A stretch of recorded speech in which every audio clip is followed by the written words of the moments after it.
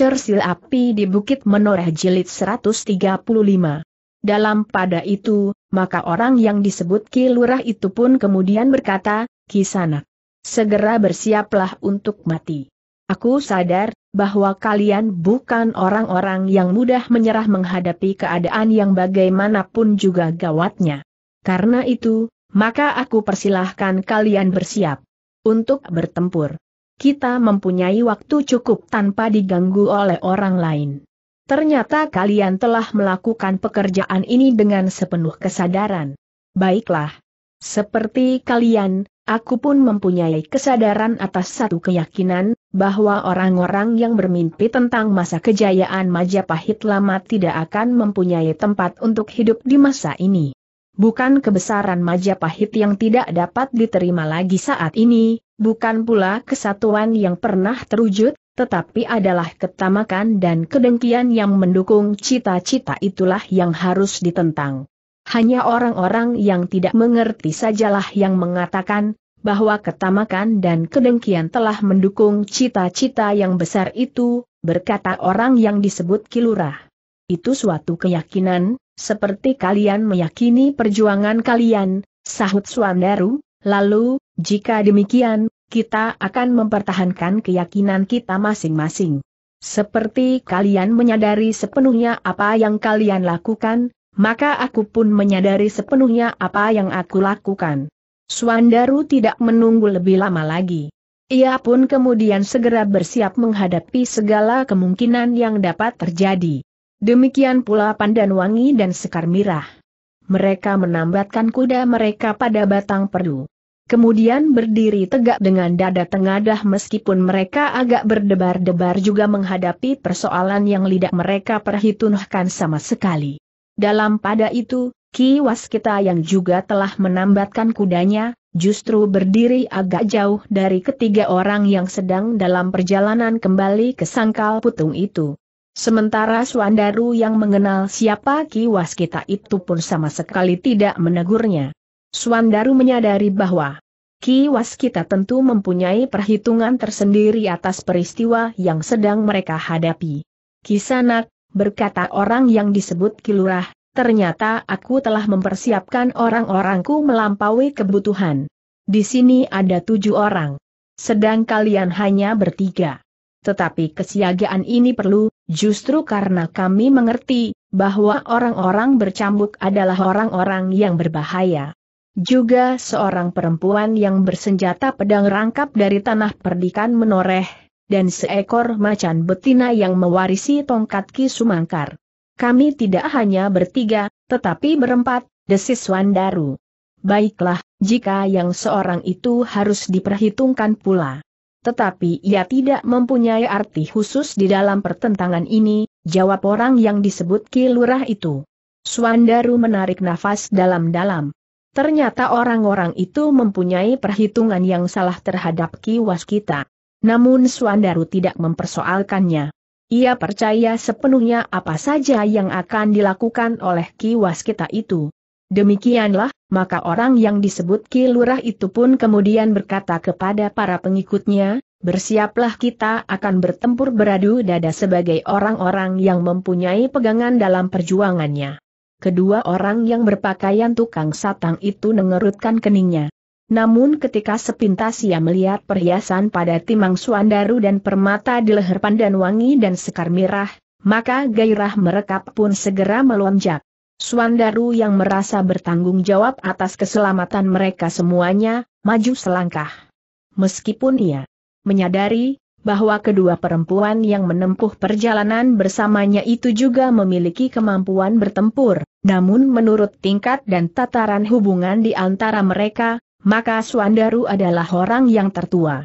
Orang yang menyebut dirinya Ki Lurah itu pun segera menempatkan diri untuk melawan Swandaru. Sambil memandang kawan-kawannya seorang demi seorang serta kedua tukang satang itu, ia pun berkata, aku akan melawan anak ini. Kalian berenam mempunyai tiga orang korban. Kalian dapat memilih. Kita tidak akan memerlukan waktu lama.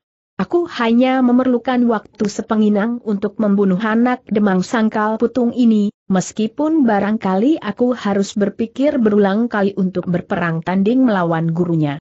Suandaru menggeram. Namun ia pun menyadari, bahwa orang yang berdiri di hadapannya itu tentu tidak hanya sekedar menakut-nakutinya. Ia tentu mempunyai pertimbangan dan perhitungan yang mapan. Nampaknya ia telah mengenal tentang dirinya, tentang istri dan adiknya. Suandaru menjadi berdebar-debar ketika ia melihat keenam orang yang lain telah berpencar.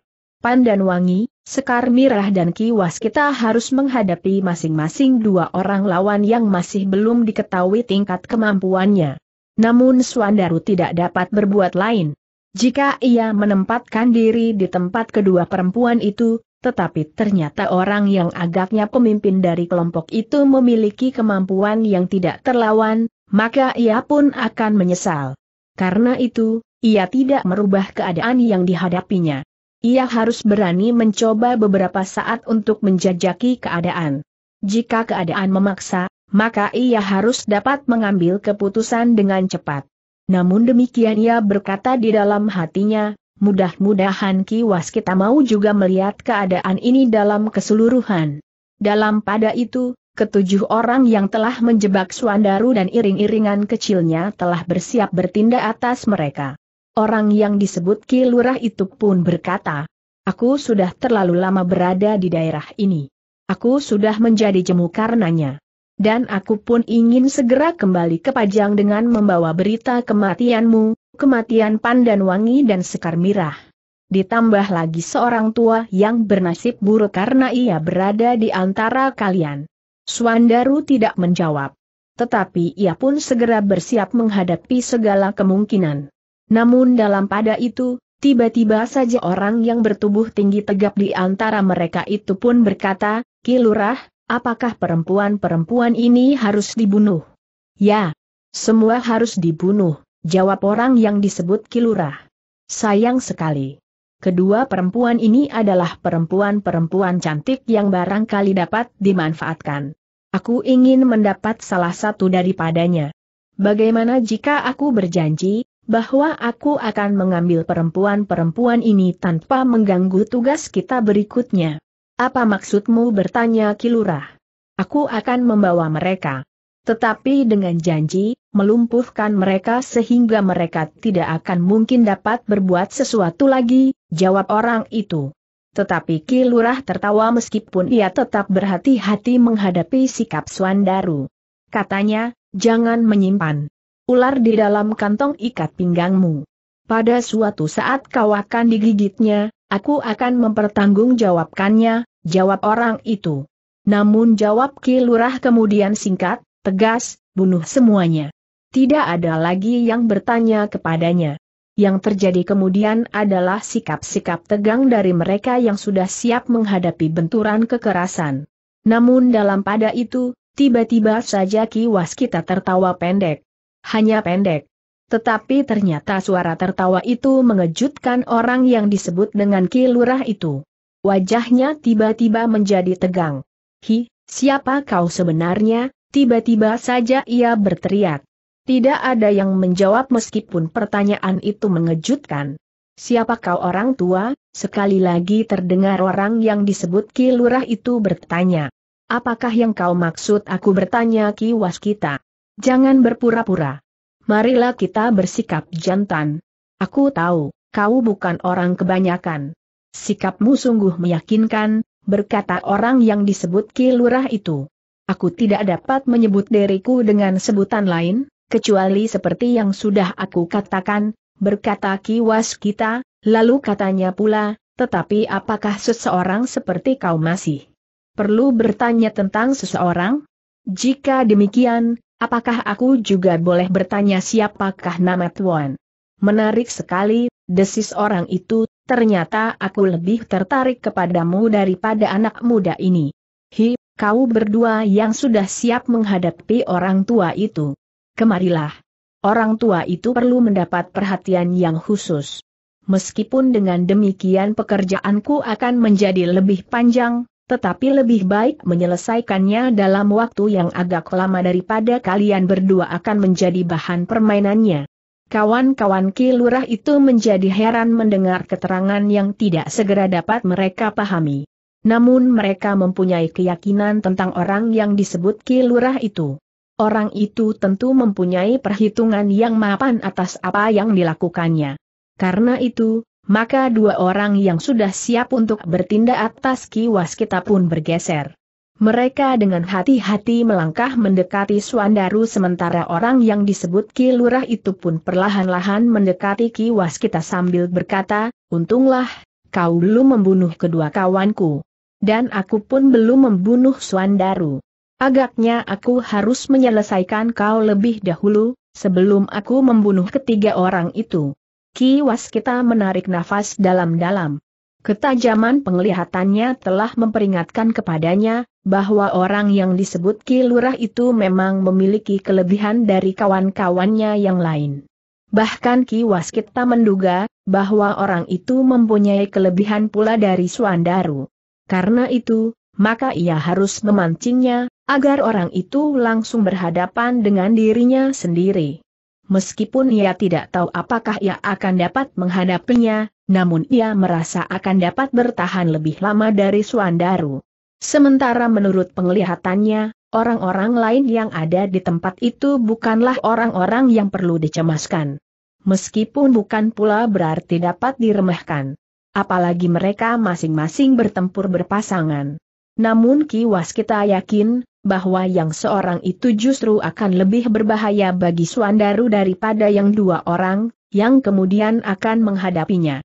Dalam pada itu, Suandaru sendiri justru menjadi heran, bahwa orang yang disebut Ki Lurah itu demikian saja meninggalkannya, dan bersiap menghadapi Ki Waskita. Namun akhirnya ia menyadari, bahwa orang itu tentu mempunyai tanggapan yang tajam atas lawan yang dipilihnya. Orang yang disebut Ki Lurah itu tentu mencemaskan nasib kedua orang kawannya jika kedua orang itu harus berhadapan dengan Ki kita, yang agaknya dengan sengaja pula telah memancing orang yang disebut Ki Lurah itu untuk menghadapinya. Karena yang melakukan itu adalah Ki kita, yang dikenal oleh Suandaru dengan baik tingkat kemampuan dan pengalamannya, maka Suandaru sama sekali tidak merasa tersinggung. Dilepaskannya orang yang disebut Ki Lurah itu, dan ia pun segera bersiap menghadapi dua orang lawannya. Sejenak orang yang disebut Ki Lurah itu memandangi Ki Waskita. Namun sejenak kemudian ia pun berteriak kepada kawan-kawannya, Hi, apalagi yang kalian tunggu? Keenam kawan-kawannya serentak bergerak. Dua orang tukang satang dari Gunung Sepikul itu pun segera menghadapi lawan yang mereka pilih bukan karena perhitungan kemampuan kanuragan, tetapi karena pada sekar mirah tergantung perhiasan yang mereka anggap cukup berharga, maka mereka telah memilih gadis itu sebagai lawan. Tanpa memperhatikanmu dengan saksama, kami tidak akan mengenalmu sebagai seorang perempuan, desis salah seorang dari kedua orang dari Gunung Sepikul itu, ternyata bahwa kau cantik dan ternyata bahwa kau memakai perhiasan juga sebagai umumnya seorang perempuan. Sekar Mirah tidak menghiraukannya. Namun untuk menjaga diri, karena ia sama sekali belum dapat menjajagi kemampuan lawannya, di tangannya segera tergenggam tongkat baja putihnya. Senjata itu memang agak mendebarkan, desis salah seorang dari kedua tukang satang itu. Kawannya tidak menyaut tetapi ternyata bahwa keduanya telah menggenggam senjata mereka pula. Senjata yang khusus mereka pergunakan. Sebatang tongkat feng patah-patah, dihubungkan dengan rantai-rantai pendek. Sekar Mirah mengerutkan keningnya. Senjata itu memberikan kesan tersendiri kepadanya.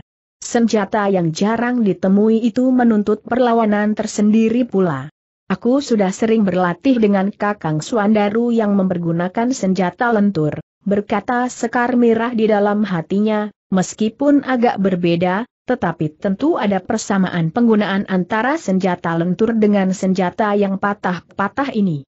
Sekar Mirah tidak sempat merenungi senjata lawannya terlalu lama.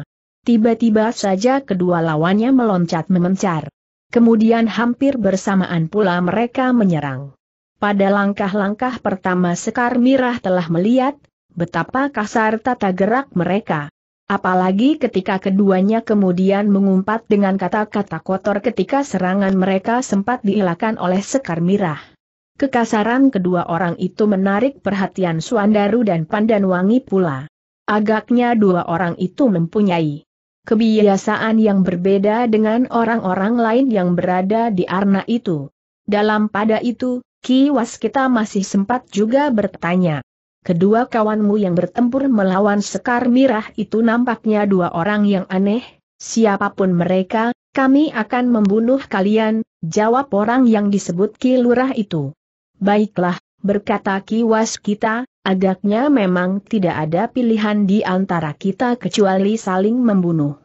Ya, memang tidak ada pilihan lain, desis orang itu.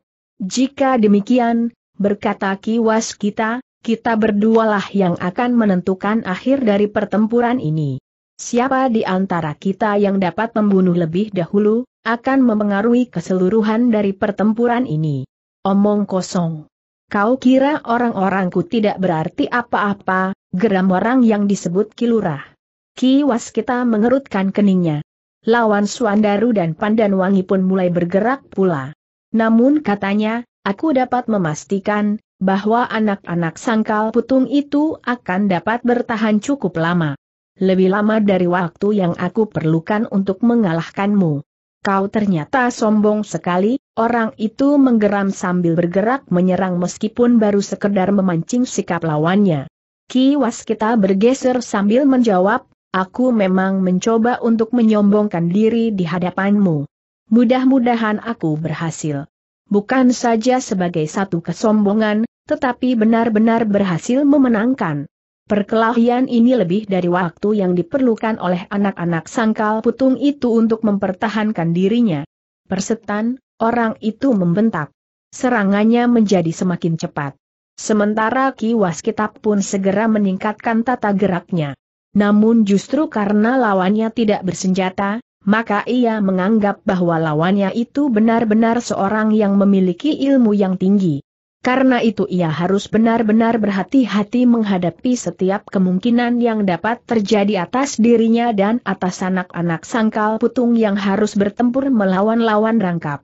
Dengan demikian maka pertempuran di antara batang-batang ilalang itu pun menjadi semakin lama semakin seru.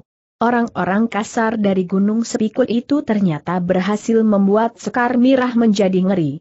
Bukan karena kemampuan tempur mereka yang tinggi, tetapi justru karena kekasaran mereka. Tidak henti-hentinya mereka mengumpat-umpat dengan kata-kata kasar. Dan bahkan kadang-kadang dengan kata-kata yang tidak pantas diucapkan. Apakah keduanya juga pendukung cita-cita kejayaan Majapahit bertanya Ki Waskita kepada lawannya yang disebut Kilurah. Kenapa perhatianmu tertuju kepada keduanya bertanya orang yang disebut Kilurah. Keduanya sangat menarik. Agak berbeda dengan kau dan kawan-kawanmu yang lain, jawab Ki Waskita.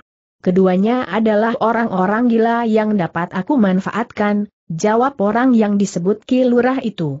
Ki Waskita yang bertempur semakin cepat masih sempat berkata lagi, aku sudah menduga. Orang-orang yang menyebut dirinya pendukung kejayaan Majapahit selalu memanfaatkan orang-orang yang dapat dijebaknya dengan care apa pun. Coba katakan, siapa saja yang telah menjadi korban ketamakan beberapa orang yang masih bermimpi tentang kejayaan Majapahit itu. Tiba-tiba saja tata gerak lawan Ki Waskita itu mengendor. Sambil meloncat surut ia berkata, agaknya kau mendapat keterangan yang salah tentang cita-cita kami. Sebaiknya aku memberikan beberapa keterangan. Kau agaknya seseorang yang memiliki kemampuan yang cukup. Karena itu, tenagamu dan barangkali pikiranmu akan sangat bermanfaat bagi kami. Kiwas kita tidak memburunya ketika lawannya meloncat surut. Bahkan seakan-akan ia memberi kesempatan lawannya untuk berbicara. Kisanak, berkata orang itu, apakah kau tidak mengakui kebesaran Majapahit? Apalagi sebelum masa surutnya. Aku mengakui Kisanak, jawab Ki Waskita.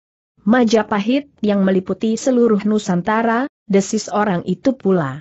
Ya, yang telah mempersatukan daerah-daerah yang berpencaran letaknya, namun dalam nafas kehidupan yang satu, jawab Ki Waskita. Nah, bukankah kita semuanya merindukan masa seperti yang pernah terjadi pada masa kejayaan Majapahit? Tidak seperti Pajang yang kita lihat sekarang kecil, terpecah-pecah dan tidak ada kesatuan sikap dan perbuatan masing-masing ingin memaksakan kehendak sendiri tanpa memperhatikan kepentingan orang lain, geram orang yang disebut Ki Lurah itu. Apakah demikian bertanya Ki Was kita, apakah pengamatanmu cukup cermat? Tentu Ki Sanak. Aku melihat segalanya yang berkembang sekarang pajang yang kerdil. Dan Mataram yang dengki dan menuruti nafsu pribadi, jawab orang itu. Kisanak, berkata Ki Was kita, apakah kau tahu pasti, Siapakah yang berada di paling ujung dari barisanmu? Dari orang-orang yang merasa berkepentingan dengan bangkitnya Majapahit kembali pada masa sekarang ini. Pertanyaanmu aneh. Kau tentu tahu bahwa pertanyaan itu tidak akan terjawab. Tetapi katakan, apakah kau tidak merindukan masa-masa yang gemilang itu bertanya orang yang disebut Kilurah? Tentu. Tentu kisanak. Aku dan aku kira seluruh rakyat Nusantara merindukannya. Persatuan yang utuh. Kesejahteraan yang adil dari ujung sampai ke ujung dari tanah yang dikurniakan oleh Yang Maha Agung ini, jawab Ki Waskita. Lalu apa lagi bertanya orang itu? Apakah kau kira carry yang kau tempuh itu dapat dibenarkan tiba-tiba Ki Waskita bertanya. Orang itu mengerutkan keningnya. Namun kemudian ia menjawab, Apakah artinya Carol dibanding dengan cita-cita yang luhur dan tidak ternilai harganya? Tidak ada yang pantas disesalkan dari Carol yang telah kami tempuh. Setiap cita-cita harus dilambari dengan kesediaan berkorban. Bahkan mungkin kita sendiri yang menjadi korban. Kiwas kita menggelengkan kepalanya. Katanya, Kisanak. Aku sependapat dengan kerinduanmu atas kesatuan seperti yang nampak pada masa kejayaan Majapahit. Tetapi aku tidak sependapat dengan carry yang kau tempuh. Yang ditempuh oleh kawan-kawanmu dan bahkan mungkin karena sikap pemimpinmu. Justru karena kau mengabaikan arti dari carry yang kau tempuh itulah, maka kau sudah mulai dengan langkah yang salah. Kenapa? Maksudmu, kita harus menunggu sampai kebesaran dan kejayaan itu datang sendiri? Apakah kau maksud bahwa Pajang akan dengan sendirinya menggelembung menelan daerah-daerah lain yang sudah mulai memisahkan diri? Tidak. Pajang harus dimusnahkan. Mataram harus dilumpuhkan sebelum mampu bangkit dan melangkah. Kekuatan baru harus bangkit untuk menaklukkan kembali daerah-daerah yang telah memisahkan diri. Aku semakin banyak melihat kesalahan pada ucapan-ucapanmu, berkata Kiwas kita, apakah artinya kebesaran dan kesatuan yang kau rindukan jika kau masih berpijak pada kekuasaan untuk mengalahkan bagian dari kesatuan yang kau sebut daerah-daerah yang memisahkan diri itu? Wajah orang itu menegang. Namun kemudian katanya, sudahlah. Ternyata jiwamu terlalu kerdil dan cengeng. Karena itu, jika kau memang tidak dapat mengerti, maka kau harus dibunuh sekarang juga. Terserahlah kepadamu. Tetapi bagiku, kebesaran dan persatuan tidak akan diikat dengan kekerasan dan kekuasaan yang berlandaskan kekuatan.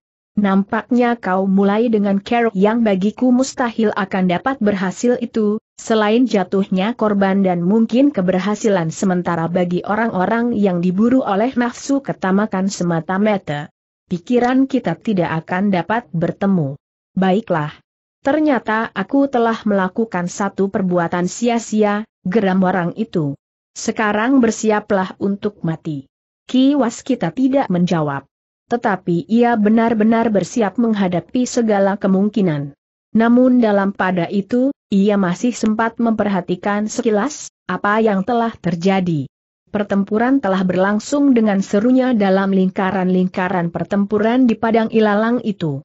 Namun yang agaknya mengalami kesulitan pertama-tama adalah justru Sekar Mirah. Sebenarnya kemampuan kedua orang tukang satang dari Gunung Sepikul itu tidak menggetarkan pertahanan Sekar Mirah. Tetapi Sekar Mirah telah menjadi ngeri karena tingkah laku orang-orang itu.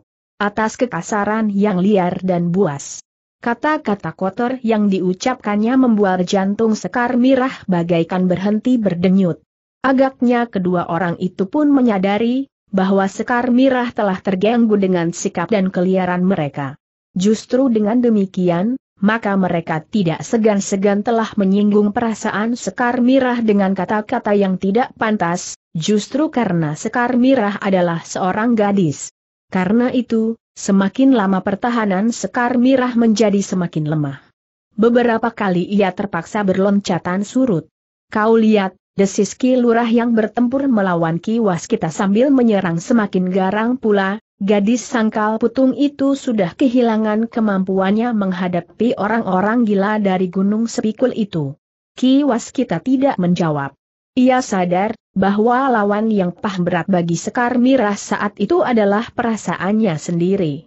Untuk beberapa saat, Ki Waskita harus memusatkan perhatiannya pada dirinya sendiri. Orang yang disebut Ki Lurah itu telah menyerangnya dengan cepat dan keras namun orang itu masih belum mempergunakan senjata apa pun juga.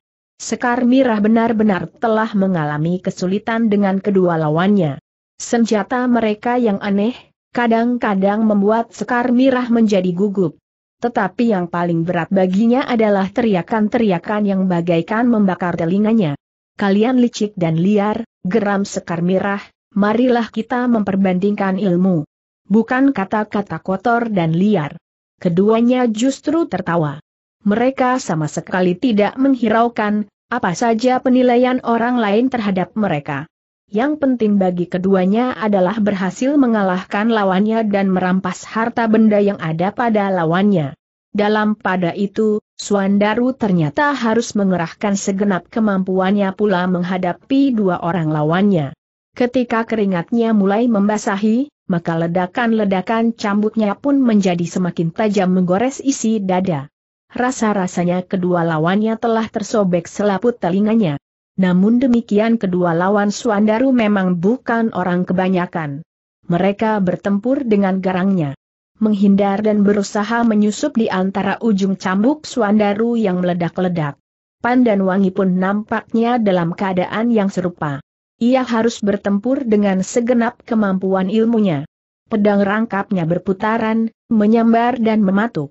Kecepatan geraknya telah banyak berhasil membuat lawannya kadang-kadang kehilangan sasaran.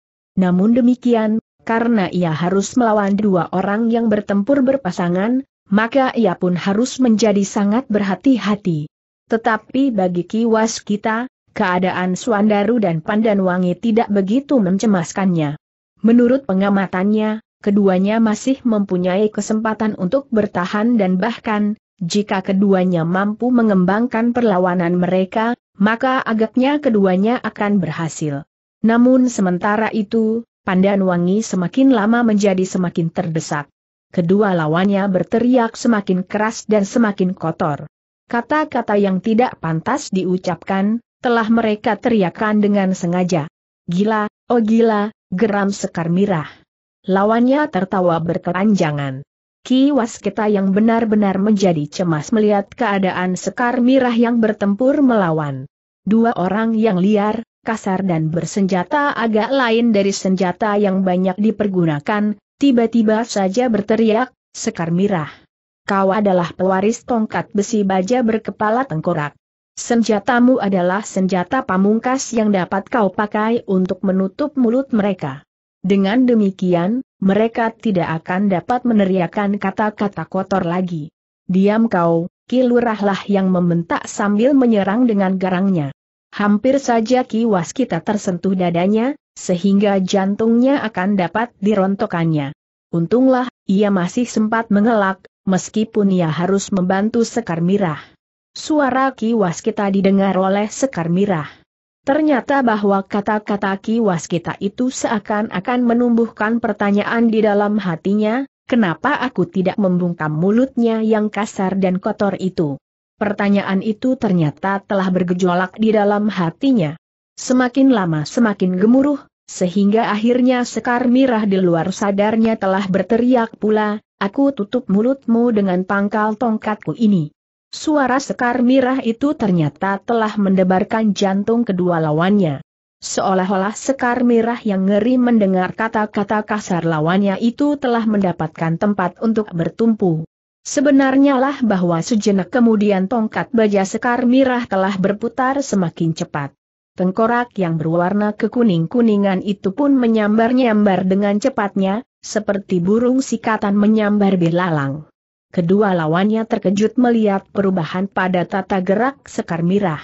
Nampaknya gadis itu telah mendapatkan satu kesadaran baru bahwa lebih baik baginya untuk menutup mulut kedua orang itu daripada ia harus mendengarkannya berkepanjangan, dan apalagi jika ia benar-benar dikalahkan.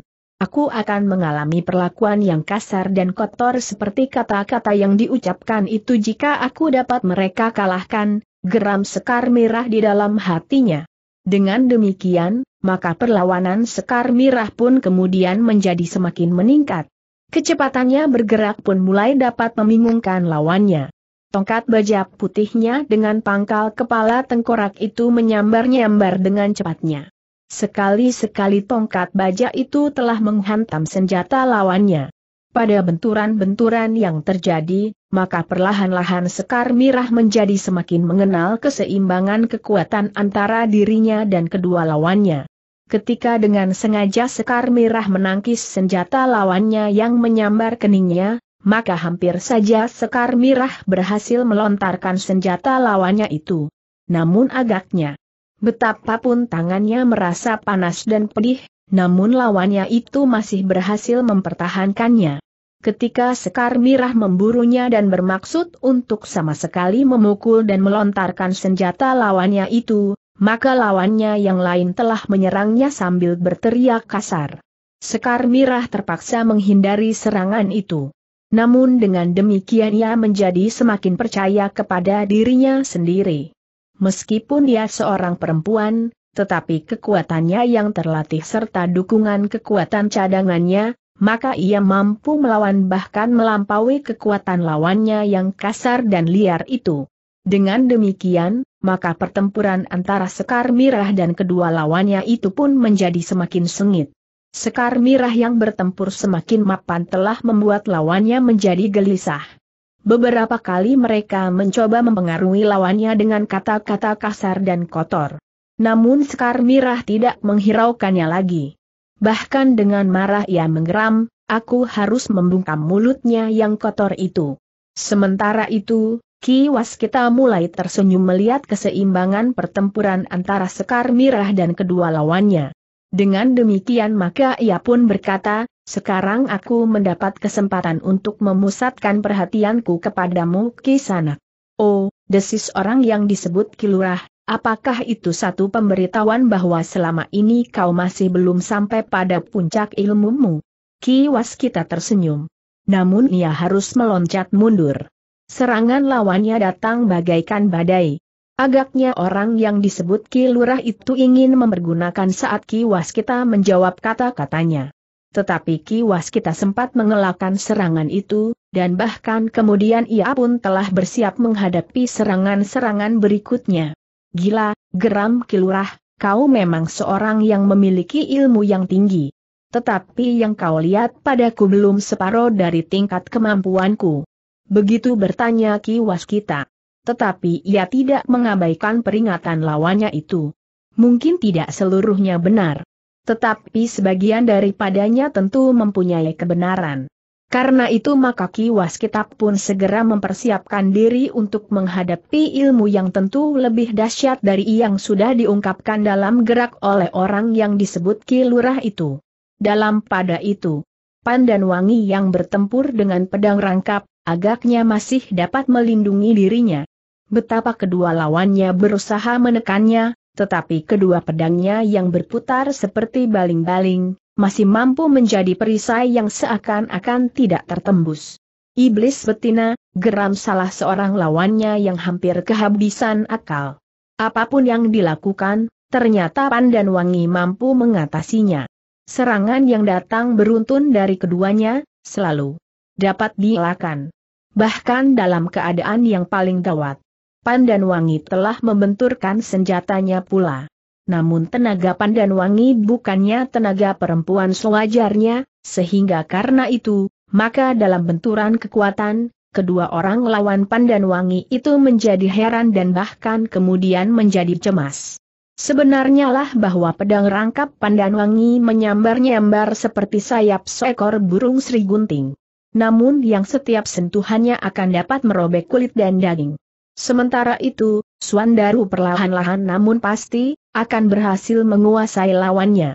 Cambuknya yang meledak-ledak membuat lawannya menjadi ngeri. Suaranya bukan saja memekakkan telinga, namun semakin lama suara ledakan cambuk itu bagaikan menyusup masuk ke dalam rongga dadanya, dan mengguncang jantungnya. Ilmu iblis yang manakah yang kau pergunakan ini hegeram salah seorang dari kedua lawannya. Swandaru tidak menjawab. Tetapi cambuknya sajalah yang meledak dengan dahsyatnya. Kedua orang lawannya meloncat surut. Meskipun ujung cambuk Swandaru tidak mengenai kulit mereka, namun hembusan anginnya seakan-akan telah memperingatkan mereka, bahwa sentuhan ujung cambuk itu bukan saja dapat menyayat kulit mereka, tetapi bahkan akan dapat meremukan tulang mereka. Hampir di luar sadarnya Swandaru menyahut, guruku. Anak setan, salah seorang dari kedua orang lawan Swandaru itu mengumpat, dari mana kau mendapat kemampuan bermain cambuk itu? Ya, gurumu tentu kerasukan iblis sehingga ia mampu mengajarimu bermain cambuk, geram lawannya yang lain. Namun kemudian katanya, tetapi cambuk semacam itu hanya dapat menakut-nakuti anak kambing cengeng. Bukan untuk menakut-nakuti aku. Swandaru menggeretakkan giginya. Tetapi ia masih menyadari, bahwa ia tidak boleh tenggelam dalam arus perasaannya. Bahkan dengan demikian ia masih sempat menjawab, aku kira, aku sekarang memang sedang berhadapan dengan anak-anak kambing cengeng. Orang itulah yang kemudian menggeram. Namun yang lain masih sempat berkata, kita bertempur dengan kemampuan ilmu. Bukan sekedar saling menyindir agar lawannya kehilangan pengamatan diri. Swandaru meloncat surut. Dengan demikian ia mendapat kesempatan untuk menjawab, baiklah. Bagaimana jika kita bertempur sambil berdiam diri? Bukankah dengan demikian, kita benar-benar sedang beradu tingkat kemampuan dan kekuatan? Kedua lawannya tidak menjawab lagi. Tetapi keduanya dengan serta-merta telah menyerang dari dua arah yang berbeda. Tidak ada aba-aba, berkata Swandaru di dalam hatinya tetapi keduanya mampu bergerak serentak, seolah-olah keduanya telah digerakkan oleh otak yang sama. Sebenarnya lah kedua orang lawannya mampu bertempur berpasangan dengan mapan sekali. Namun Swandaru adalah seorang yang memiliki ilmu yang cukup. Ia telah mewarisi semua dasar ilmu Kiai Gringsing, meskipun ia masih belum sampai ke puncak perkembangannya. Namun demikian, ia adalah seorang yang mengagumkan. Kekuatannya benar-benar mengejutkan lawannya di setiap sentuhan dan benturan senjata. Tetapi kedua lawannya ternyata memiliki kecepatan bergerak yang tinggi. Apalagi kemapanan kerjasama di antara mereka yang mengagumkan. Sehingga dengan demikian, maka Swandaru harus berjuang sekuat tenaganya untuk bertahan. Tetapi agaknya senjata Swandaru yang agak lain dari kebanyakan senjata itu sangat berpengaruh. Ujung senjatanya yang meskipun tidak tajam, tetapi lentur, kadang-kadang membuat lawannya menjadi bingung. Ujung cambuk Swandaru itu seolah-olah selalu mengejar keduanya ke mana pun mereka menghindar. Meskipun demikian, keduanya bukan kanak-kanak lagi di arna petualangan olah kanuragan. Keduanya adalah orang yang berpengalaman dan mengenal berbagai macam tata gerak ilmu kanuragan. Karena itu, maka keduanya masih memiliki kesempatan untuk menghindari kejaran ujung cambuk Swandaru yang bukan saja berkarah baja seperti saat ia mendapatkannya dari gurunya. Tetapi karah baja yang melingkar pada ujung cambuk Swandaru ternyata sudah menjadi semakin rapat. Dengan demikian, maka setiap sentuhan ujung senjatanya akan dapat menyayat kulitnya sampai ke tulang. Di arna pertempuran yang lain, Pandan Wangi yang bertempur dengan pedang rangkap ternyata membuat lawannya kadang-kadang tidak percaya akan penglihatannya. Perempuan itu seakan-akan benar-benar telah terbang dengan sayap pedangnya. Namun kemudian dengan cepat menukik dan mematuk dengan ujung sayapnya yang tajam, melampaui tajamnya paruh Raja Wali. Dengan demikian, maka kedua lawannya telah mempergunakan care yang khusus pula untuk melawan sepasang pedang itu. Keduanya mengambil jarak yang cukup di arah yang berlawanan. Seperti berjanji keduanya menyerang berganti-ganti, bagaikan arus sombak yang menghantam tebing. Berurutan tidak henti-hentinya, sehingga mereka berharap bahwa Pandanwangi tidak akan sempat menyerang mereka. Tetapi Pandanwangi memiliki ketajaman pengamatan atas kedua lawannya. Ia tidak mau terperangkap ke dalam serangan yang datang beruntun. Namun ia dengan tangkasnya melepaskan diri dari garis serangan. Keduanya, dan dengan cepatnya memusatkan serangannya kepada salah seorang lawannya. Serangan Pandanwangi benar-benar mengejutkan lawannya yang seorang itu terpaksa berloncatan menghindari serangan Pandanwangi. Namun Pandanwangi tidak melepaskannya. Serangannya datang tanpa terbendung. Tetapi sejenak kemudian Pandanwangi terpaksa memperhitungkan lawannya yang lain yang dengan tergesa-gesa datang memburunya. Sehingga dengan demikian, Pandanwangi terpaksa melepaskan kesempatan yang hampir saja terbuka baginya. Perempuan ini benar-benar gila, geram lawannya yang hampir saja dadanya disayat oleh pedang pandan wangi. Dengan nafas yang terengah-engah ia pun memperbaiki kedudukannya meskipun ia tidak sempat beristirahat sama sekali walau hanya sekedar untuk mengatur pernafasannya. Karena jika ia terlambat sekejap, maka kawannya lah yang akan menjadi korban putaran pedang pandan wangi. Dalam pada itu, ternyata lawannya benar-benar telah kehilangan pengekangan diri mereka telah mengerahkan segenap ilmu dan kemampuan mereka. Sehingga dengan demikian, maka keduanya telah meningkat bukan saja sekedar bertempur dengan tenaga wajarnya. Keduanya telah mulai mengerahkan segenap tenaga cadangannya sampai ke puncak kemampuan. Pandan Wangi merasa, tekanan kedua lawannya memang menjadi semakin berat. Justru karena itu, maka sengaja atau tidak sengaja, ia pun telah memeras segenap tenaga, kemampuan dan ilmu yang ada padanya. Pada saat-saat terakhir, ketika lawannya mulai mendesaknya dengan tenaga yang terasa semakin besar, Pandan Wangi yang tidak mungkin menghindar dari Arna itu pun menghentakkan kekuatannya. Ketika serangan lawannya mematuknya, maka ia berusaha untuk meloncat ke samping. Namun justru pada saat itu, lawannya yang lain telah mengayunkan senjatanya dengan sepenuh kekuatannya menebas ke arah leher. Tidak ada kesempatan lagi untuk mengelak. Sementara itu Pandan Wangi sadar, bahwa lawannya telah mempergunakan segenap kemampuan yang ada padanya. Bukan saja tenaga wajarnya, tetapi juga tenaga cadangannya. Karena itu, maka Pandan Wangi yang tidak mempunyai kesempatan lain, kecuali menangkis serangan itu, telah mengerahkan segenap kemampuannya pula. Dengan sepenuh pemusatan ilmu, ia telah mengerahkan tenaga cadangannya untuk menangkis senjata lawannya yang langsung menebas lehernya. Bahkan demikian maka ungkapan kekuatan pandan wangi yang dihentakkan itu benar-benar telah mengungkap segenap kemampuan yang ada pada dirinya. Setelah beberapa lama ia mesu diri dengan cara yang agak berbeda dengan Swandaru dan Sekar Mirah, karena kekagumannya setelah ia mendengar bahwa ia pun akan mampu menghentakkan ilmu dalam ungkapan yang agak lain dari ungkapan tenaga dan tenaga cadangan saja. Dengan demikian, maka tanpa disadarinya, dalam ungkapan yang dilambari dengan sepenuh kemampuan yang ada padanya, telah terungkap pula kemampuan yang masih belum disadari kehadirannya.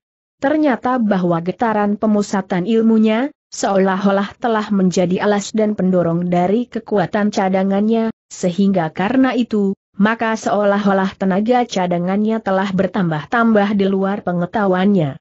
Karena itulah, maka ketika senjatanya yang diayunkan dengan segenap kemampuan yang terhentak tanpa kekangan, dan menangkis senjata lawan, maka telah terjadi benturan yang sangat dahsyat. Di luar dugaan Pandan Wangi sendiri, bahwa dalam benturan itu, ternyata senjata lawannya telah terlempar dari tangan. Meskipun terasa tangan Pandan Wangi sendiri menjadi pedih, namun ia masih tetap menggenggam senjatanya. Terdengar keluhan tertahan. Agaknya perasaan sakit yang sangat telah menyengat tangan lawannya sehingga ia tidak mampu lagi bertahan untuk tetap menggenggam senjatanya. Ketika senjata lawannya itu terlempar, maka Pandan Wangi yang justru terkejut itu tidak segera dapat memanfaatkan keadaan. Ia terlambat sekejap, sehingga lawannya yang lain berhasil menolongnya. Baru sesaat kemudian Pandan Wangi menyadari keadaannya. Tetapi kedua lawannya telah bersiap sepenuhnya untuk menghadapinya lawannya yang senjatanya terlempar telah berhasil memungut kembali senjatanya pada saat Pandan Wangi harus memperhatikan serangan lawannya yang lain, yang berusaha memberi kesempatan kepada kawannya memperbaiki keadaannya. Namun dengan demikian Pandan Wangi telah mendapat satu pengalaman baru pada ilmunya. Ia mulai mengenal arti dari latihan-latihan khususnya. Memang ada kelainan yang terasa di dalam perkembangan ilmunya di saat terakhir. Namun baru dalam hentakan kekuatan sepenuhnya sajalah ia dapat mengenalinya. Untuk menghadapi keadaan berikutnya, maka Pandan Wangi telah membuat perhitungan baru. Meskipun belum sepenuhnya diyakini, tetapi ia mulai berani mempergunakan dasar pengalamannya pada ilmunya sesaat sebelumnya. Aku harus mencoba menangkis serangan-serangan mereka lebih banyak lagi, berkata Pandan Wangi kepada diri sendiri. Karena itulah, maka sejenak kemudian ia pun mulai bergeser mendekati kedua lawannya yang sudah bersiap di tempat yang terpisah. Sekejap kemudian, maka pertempuran yang sengit itu pun telah terulang kembali. Pandan Wangi justru menjadi semakin garang dengan senjata rangkapnya.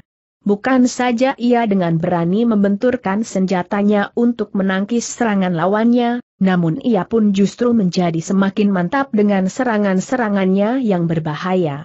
Dengan demikian maka kedua lawannya pun menjadi semakin sibuk menghadapi senjata rangkap.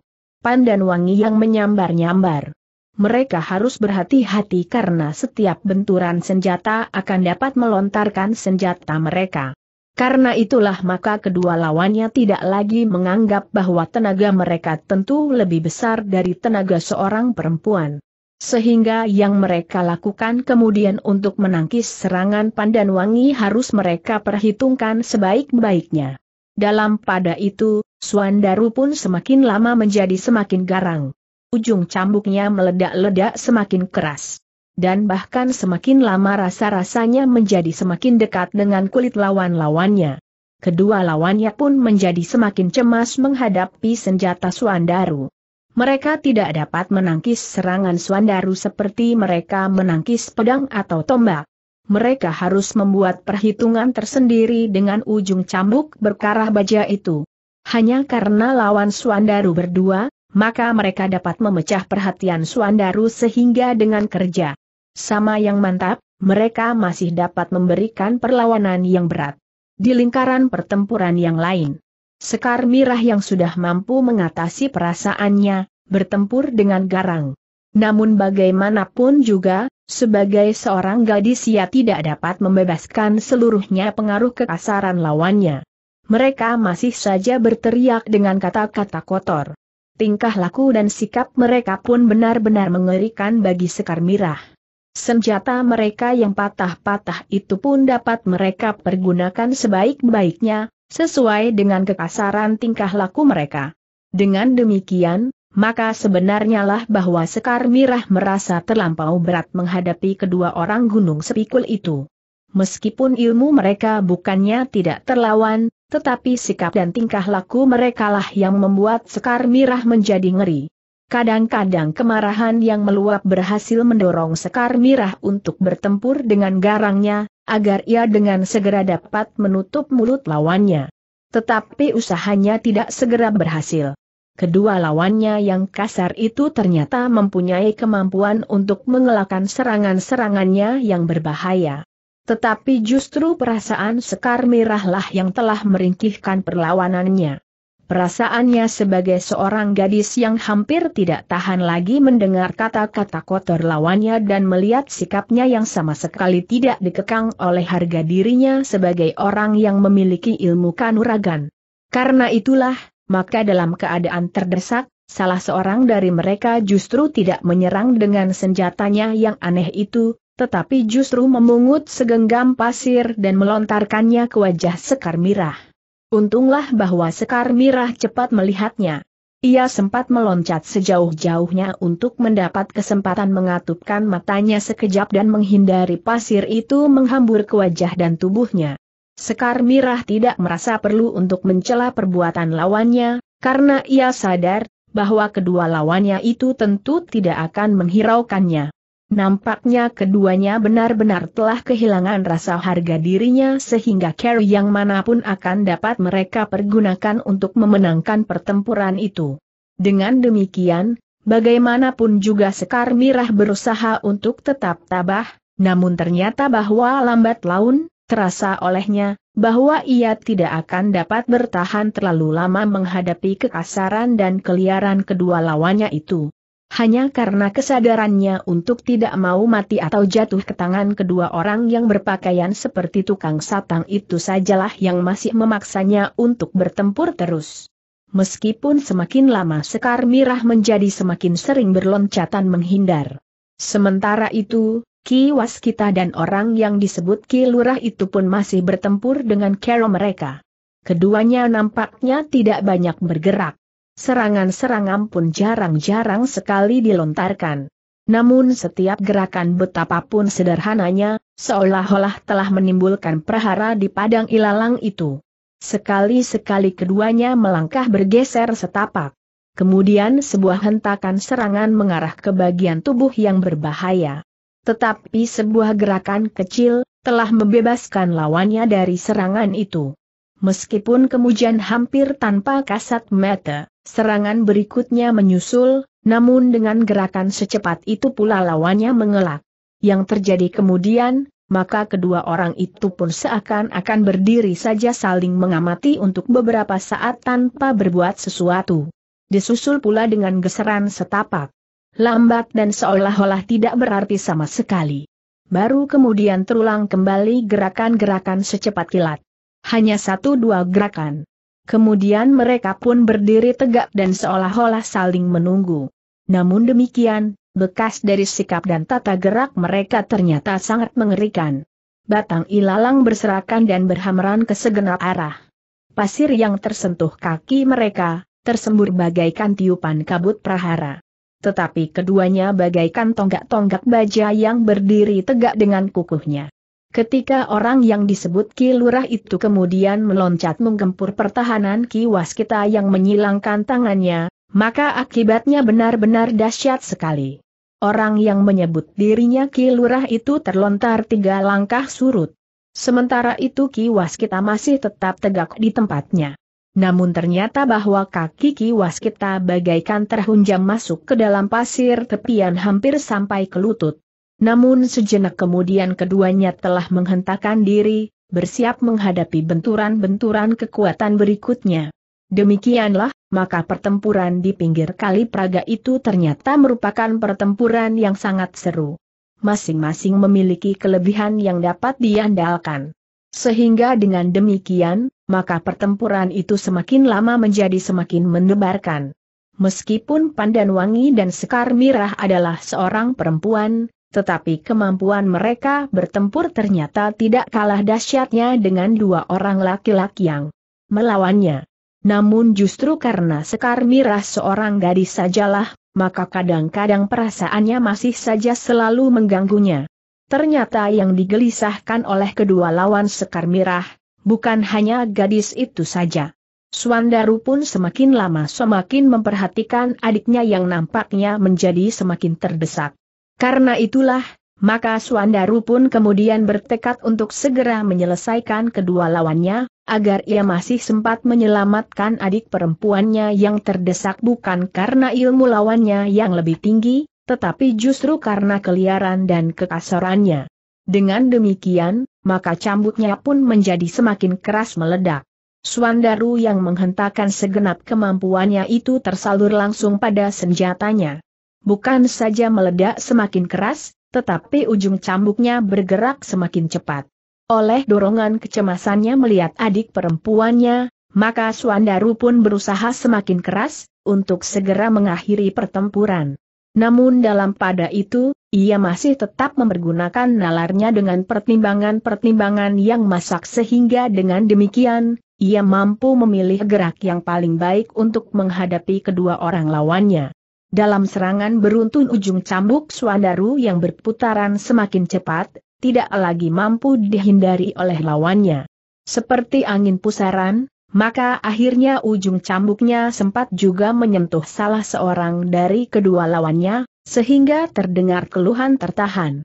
Lawannya yang tersentuh ujung cambuk itu masih sempat meloncat menghindar, sementara yang lain masih sempat pula meloncat menyerang untuk membebaskan kawannya yang tersentuh senjata Suandaru itu. Namun bahwa ujung cambuk Suandaru telah berhasil menyayat lengan lawannya, maka kegelisahan pun mulai membakar hati orang yang disebut Kilurah itu. Menurut pengamatannya yang sekilas, maka kedua lawan Swandaru agaknya memang sudah mulai terdesak oleh hentakan-hentakan ujung cambuk anak sangkal putung itu. Sebenarnya lah, Swandaru yang ingin semakin cepat menyelesaikan pertempuran itu telah menjadi semakin cermat. Ia tidak terlempar ke dalam arus perasaannya tetapi ia justru membuat perhitungan-perhitungan yang semakin mapan, agar ia dapat semakin cepat mengakhiri pertempuran. Pertempuran dan pertimbangan-pertimbangan yang mapan setelah ia bertempur beberapa saat dan dapat mengambil kesimpulan mengenai kemampuan dan tataran ilmu lawannya, telah membuat kedudukan Swandaru menjadi semakin menentukan. Lawannya yang terluka di lengan itu, ternyata masih mampu bertahan.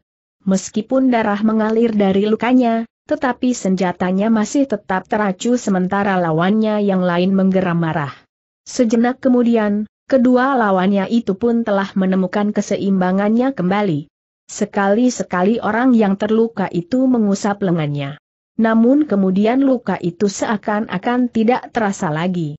Swandaru pun telah bersiap pula menghadapi kemungkinan-kemungkinan yang berat tetapi ia menyadari sepenuhnya akan keadaan lawannya.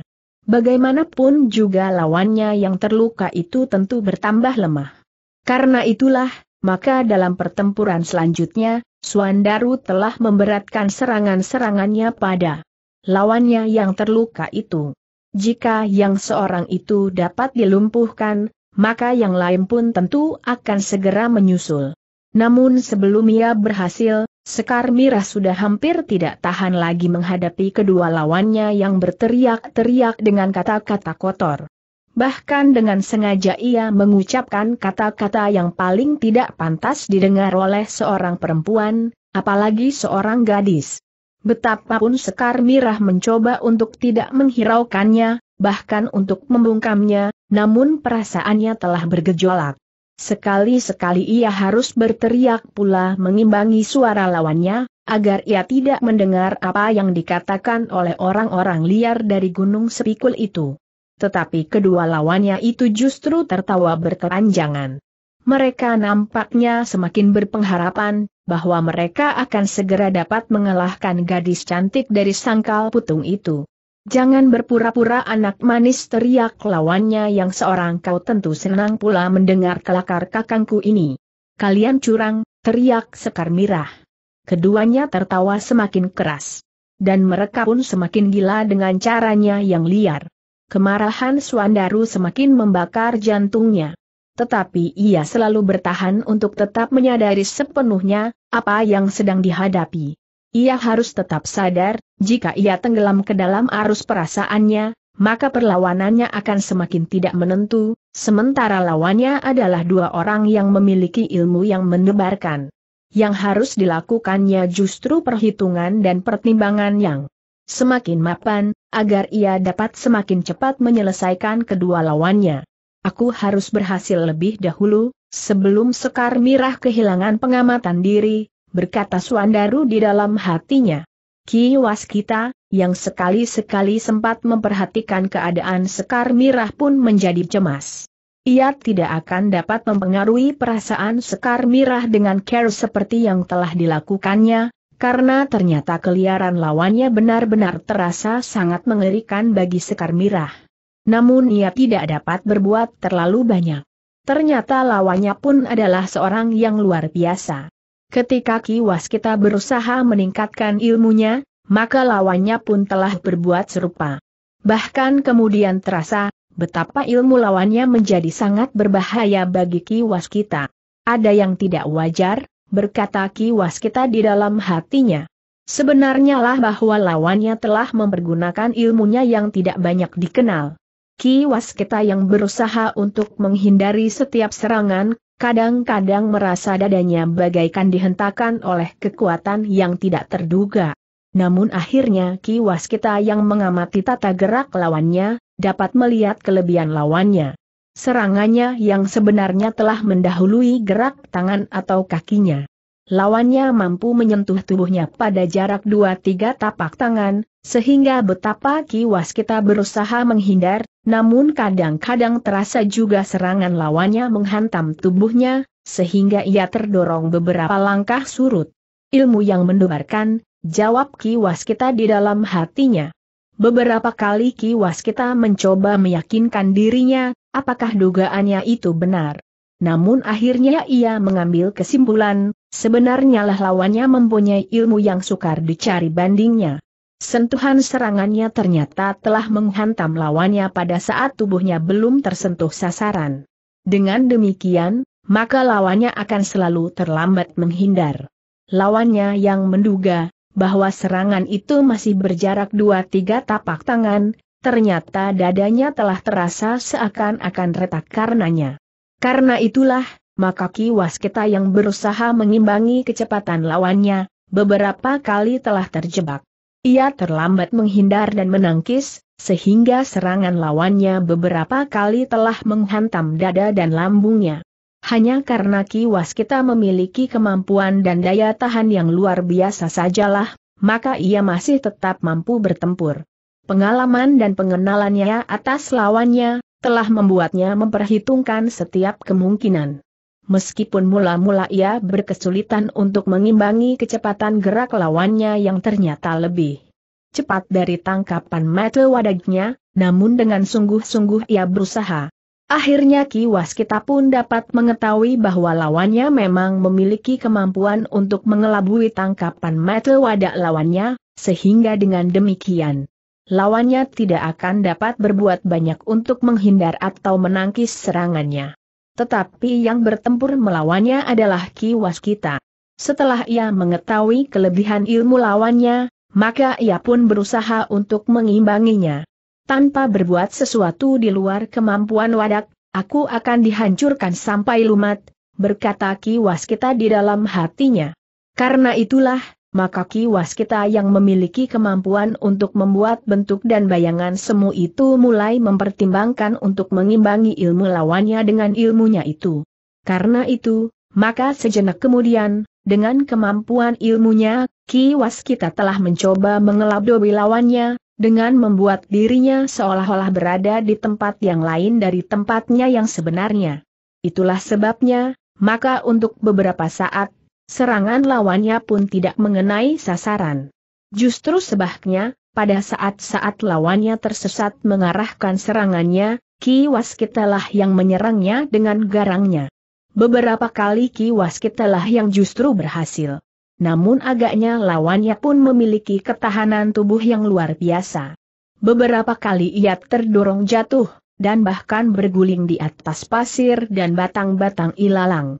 Namun ia masih mampu meloncat berdiri dan bersiap menghadapi segala kemungkinan. Tetapi ternyata bahwa lawannya pun memiliki penglihatan batin yang tajam. Setelah beberapa kali ia mengalami kegagalan, maka ia pun menggeram, kau licik sana. Kau bersembunyi di balik satu permainan yang curang tanpa mengenal malu. Ki Waskita yang sudah mengambil jarak dari lawannya itu pun bertanya, kenapa kau menuduh demikian? Kau mencoba bermain dengan ilmu sihir, sahut lawannya. Aku bukan tukang sihir. Aku tidak mampu melakukannya, jawab Ki Waskita.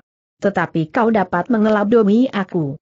Kau berdiri di tempat yang bukan sebenarnya menurut penglihatanku, orang yang disebut Ki Lurah itu hampir berteriak. Maaf Kisanak. Aku tidak merasa berbuat curang dan licik. Aku hanya ingin mengimbangi kemampuanmu yang jarang dijumpai di dunia petualangan olah kanuragan.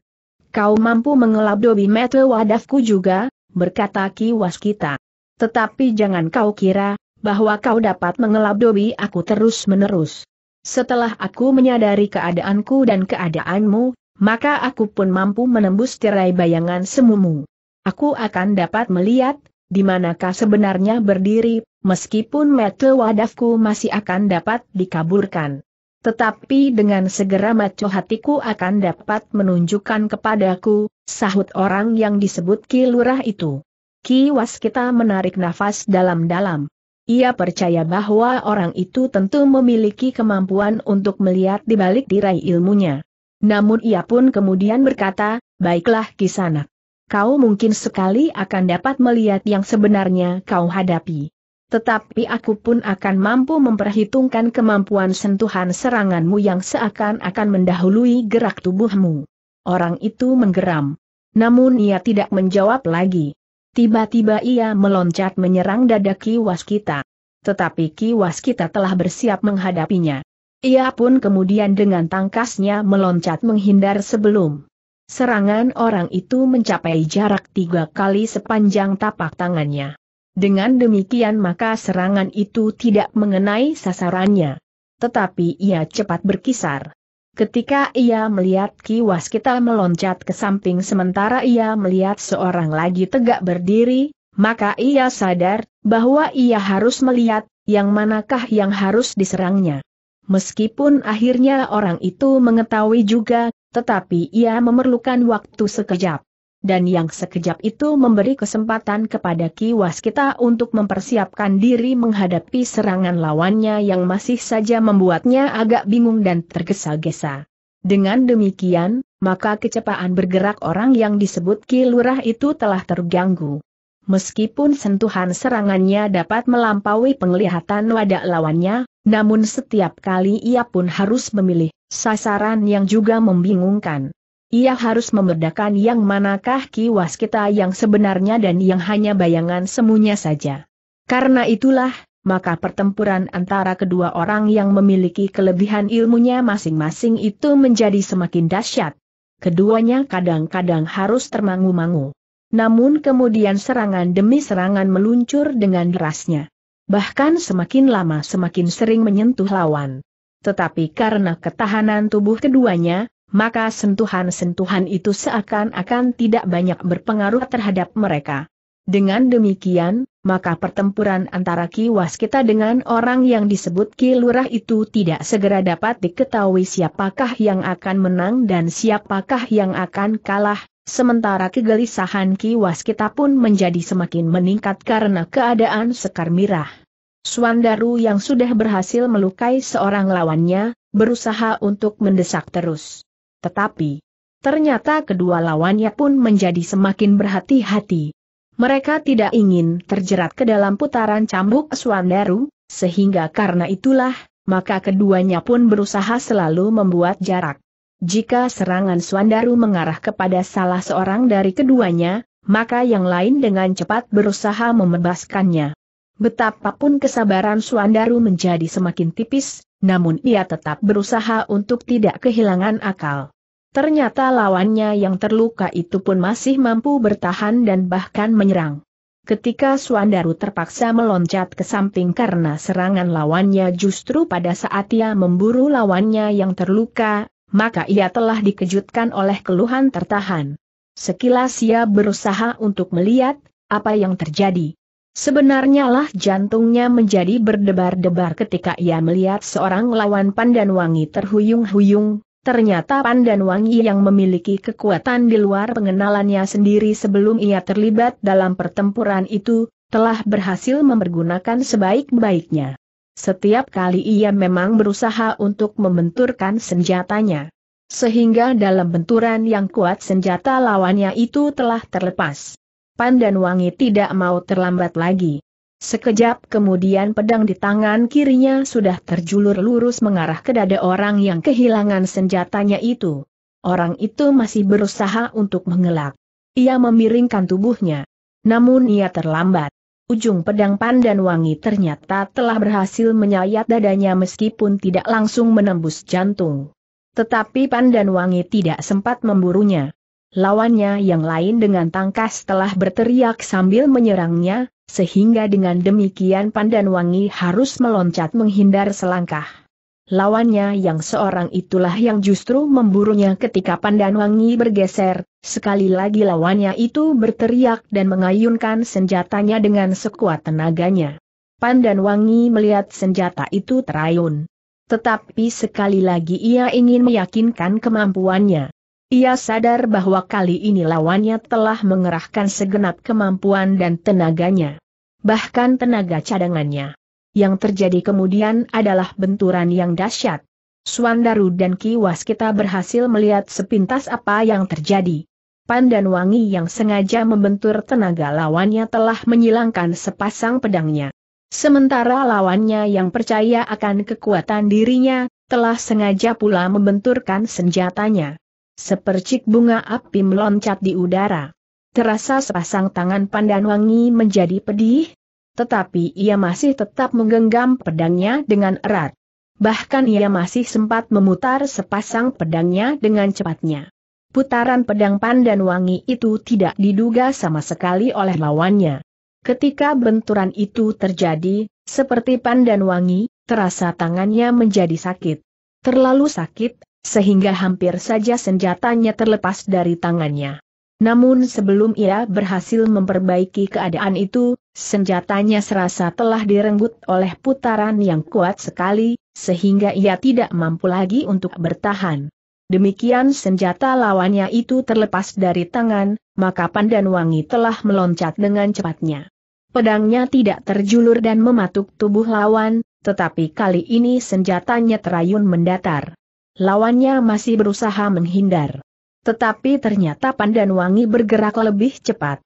Meskipun tangannya masih terasa pedih, tetapi ujung senjatanya telah berhasil menyobek lambung lawannya. Yang terdengar kemudian adalah sebuah keluhan panjang. Orang yang tersayat lambungnya itu pun kemudian terjatuh di tanah. Sementara itu orang yang dadanya terluka itu pun masih berusaha untuk meraih senjatanya yang terlepas. Tetapi demikian ia berhasil menggapai hulu senjatanya, ia pun telah terjatuh pula dengan lemahnya. Sejenak Pandan Wangi berdiri termangu-mangu. Dipandanginya dua sosok tubuh yang terbaring diam. Ia memalingkan wajahnya ketika terlihat olehnya darah yang mengalir dari luka-luka di tubuh yang terbujur diam itu. Terasa jantung Pandan Wangi bergetar semakin cepat. Kematian itu memang mengerikan meskipun pembunuhan itu bukan baru pertama kali dilakukannya kematian kedua Ouyang itu sangat mempengaruhi keseimbangan pertempuran. Meskipun Pandan Wangi tidak segera berbuat sesuatu, tetapi pengaruh itu terasa langsung pada kawan-kawannya. Dua orang tukang satang dari Gunung Sepikul itu tiba-tiba saja telah tidak berteriak-teriak lagi. Agaknya mereka pun berpikir, apakah yang kemudian akan dilakukan oleh Pandan Wangi. Jika perempuan itu kemudian berusaha untuk memisahkan sepasang tukang satang itu, sehingga mereka harus bertempur seorang melawan seorang, maka akibatnya sudah dapat dibayangkannya. Belum lagi tukang satang itu menemukan satu cara untuk menyelamatkan diri sendiri, Terdengar sekali lagi pekik kesakitan menyusul satu ledakan cambuk yang dahsyat. Meskipun mereka tidak melihat, tetapi mereka dapat membayangkan, satu dari lawan Swandaru tentu telah terluka pula. Bahkan mungkin terbunuh. Mungkin orang yang memang sudah terluka sebelumnya, tetapi mungkin pula yang seorang lagi. Kedua tukang satang itu tidak berpikir lebih panjang lagi. Dengan isyarat yang hanya dapat mereka mengerti, mereka pun telah bersiap untuk melarikan diri.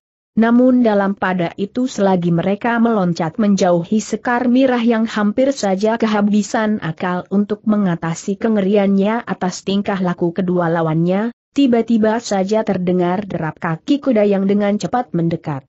Bahkan sebelum kedua tukang satang itu berbuat sesuatu, sekelompok orang berkuda telah mengepung mereka yang sedang bertempur. Letakkan senjata kalian, terdengar salah seorang penunggang kuda itu memerintahkan. Hampir tanpa disadari oleh mereka yang sedang bertempur, maka mereka pun telah berloncatan mundur menjauhi lawan masing-masing. Letakkan semua senjata, sekali lagi terdengar perintah. Orang-orang yang sedang bertempur itu menjadi termangu-mangu. Dua orang lawan Pandan Wangi sudah tidak bergerak lagi. Seorang lawan Swandaru pun telah terbaring diam, sementara yang lain sudah terluka.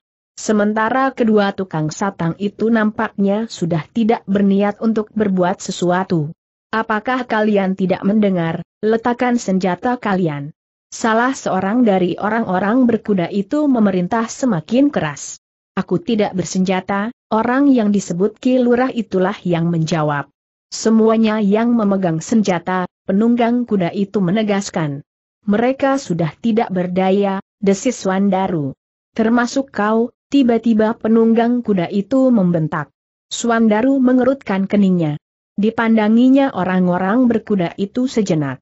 Kemudian katanya, kami terpaksa membela diri menghadapi mereka. Tetapi orang yang disebut Ki Lurah itu tertawa. Katanya siapa pun dapat mengatakan, bahwa dirinya sedang mempertahankan hidupnya dari serangan orang lain. Aku pun dapat mengatakan demikian. Tiga kawanku telali dibunuh tanpa aku ketahui sebab-sebabnya. Sementara anak itu sedang menyusun alasan untuk memutar balikan keadaan. Licik, geram Suandaru. Kawan-kawanku telah terbunuh, desis orang yang disebut Kilurah. Jangan banyak bicara. Letakkan senjata kalian, dan ikuti kami menghadap Kilurah. Sudah aku katakan, aku tidak bersenjata. Biarlah mereka yang bersenjata meletakkan senjata mereka, jawab orang yang disebut Kilurah. Cepat, sebelum kami mengambil sikap, bentak orang bertubuh tinggi kekar yang agaknya menjadi pemimpin orang-orang berkuda itu. Suandaru termangu-mangu sejenak. Agaknya pemimpin dari orang-orang berkuda itu memandanginya dengan tajamnya. Siapakah kalian? Tiba-tiba saja Suandaru bertanya. Kami pengawal dari Mataram. Kami mendapat laporan bahwa di sini telah terjadi pertengkaran dan kemudian perkelahian, ketika kami sedang nganglang lewat daerah ini. Jawab pemimpin orang-orang berkuda itu, ternyata yang kami jumpai di sini adalah kalian. Karena itu, tanpa menyebut siapa yang bersalah, kalian semuanya menjadi tawanan kami. Kalian akan kami bawa sebagai tawanan tanpa kecuali, bersalah atau tidak bersalah. Karena perkelahian ini sendiri telah menumbuhkan kegelisahan dan kecemasan. Kisanak, berkata Suandaru kemudian, Aku telah mempertahankan diriku dengan senjataku ini. Demikian pula istri dan adikku. Sementara pamanku telah bertempur tanpa senjata di tangan. Siapa pun kalian dan apa pun yang telah kalian lakukan, jangan membantah. Kami dapat bertindak atas nama kekuasaan Mataran, jawab pemimpin orang-orang berkuda yang menyebut dirinya pengawal dari Mataram. Suandaru yang baru saja dipanasi oleh keadaan itu pun rasa-rasanya masih terpengaruh oleh luapan panas jantungnya. Karena itu maka jawabnya, kami telah mempertahankan hidup kami dengan senjata kami. Karenanya kami akan mempertahankan senjata kami, siapa pun kalian. Gila, pemimpin orang-orang berkuda itu hampir berteriak, kau berani menentang kekuasaan Mataram? Aku tidak bermaksud menentang kekuasaan Mataram.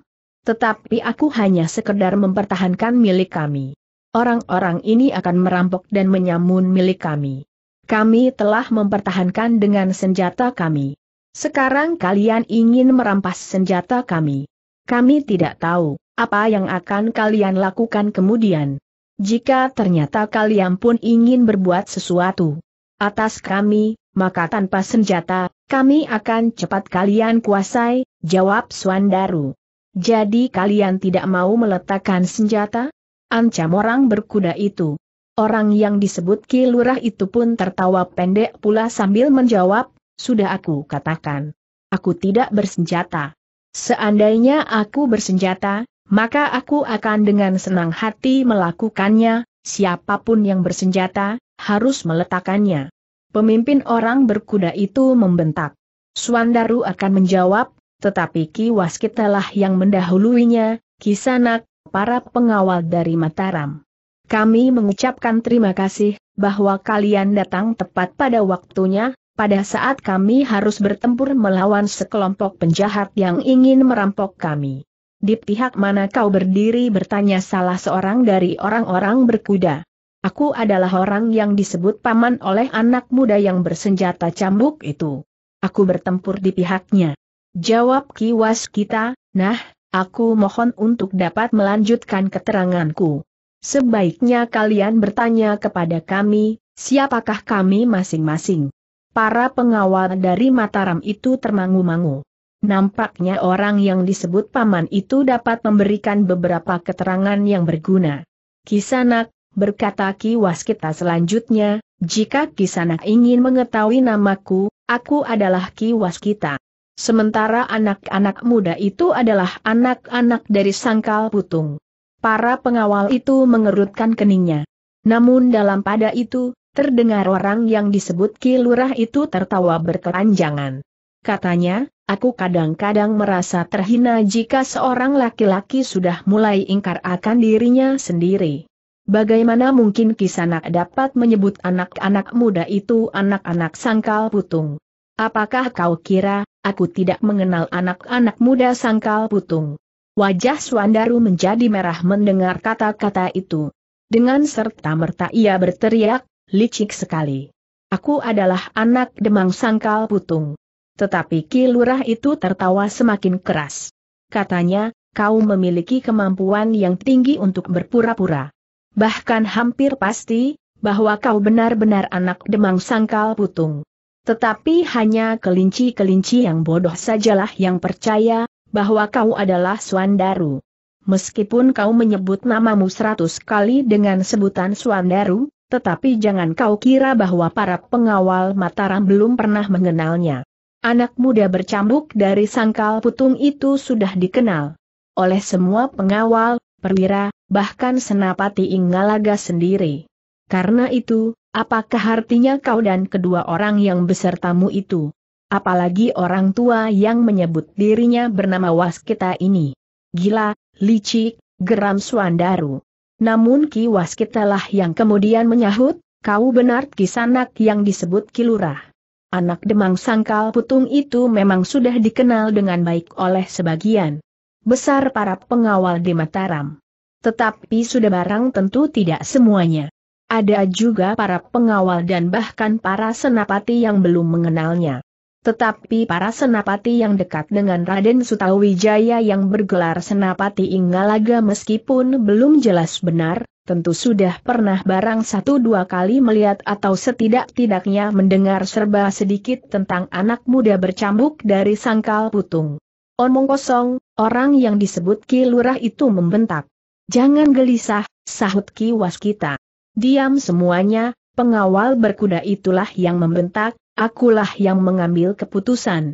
Aku perintahkan sekali lagi, semua senjata diletakkan. Tetapi Ki Waskita cepat memotong, aku mohon untuk diizinkan memberikan penjelasan serba sedikit. Ia berhenti sejenak. Tetapi karena pemimpin pengawal itu tidak menyahut, maka ia pun melanjutkan, Cobalah Kisanak memperhatikan. Apakah Kisanak pernah mengenal atau setidak-tidaknya mendengar serba sedikit tentang anak muda bercambuk dari sangkal putung? Aku tidak peduli, teriak pemimpin pengawal itu, kalian harus mendengar dan melakukan perintahku, siapa pun kalian. Kiwas kita menjadi semakin berdebar-debar.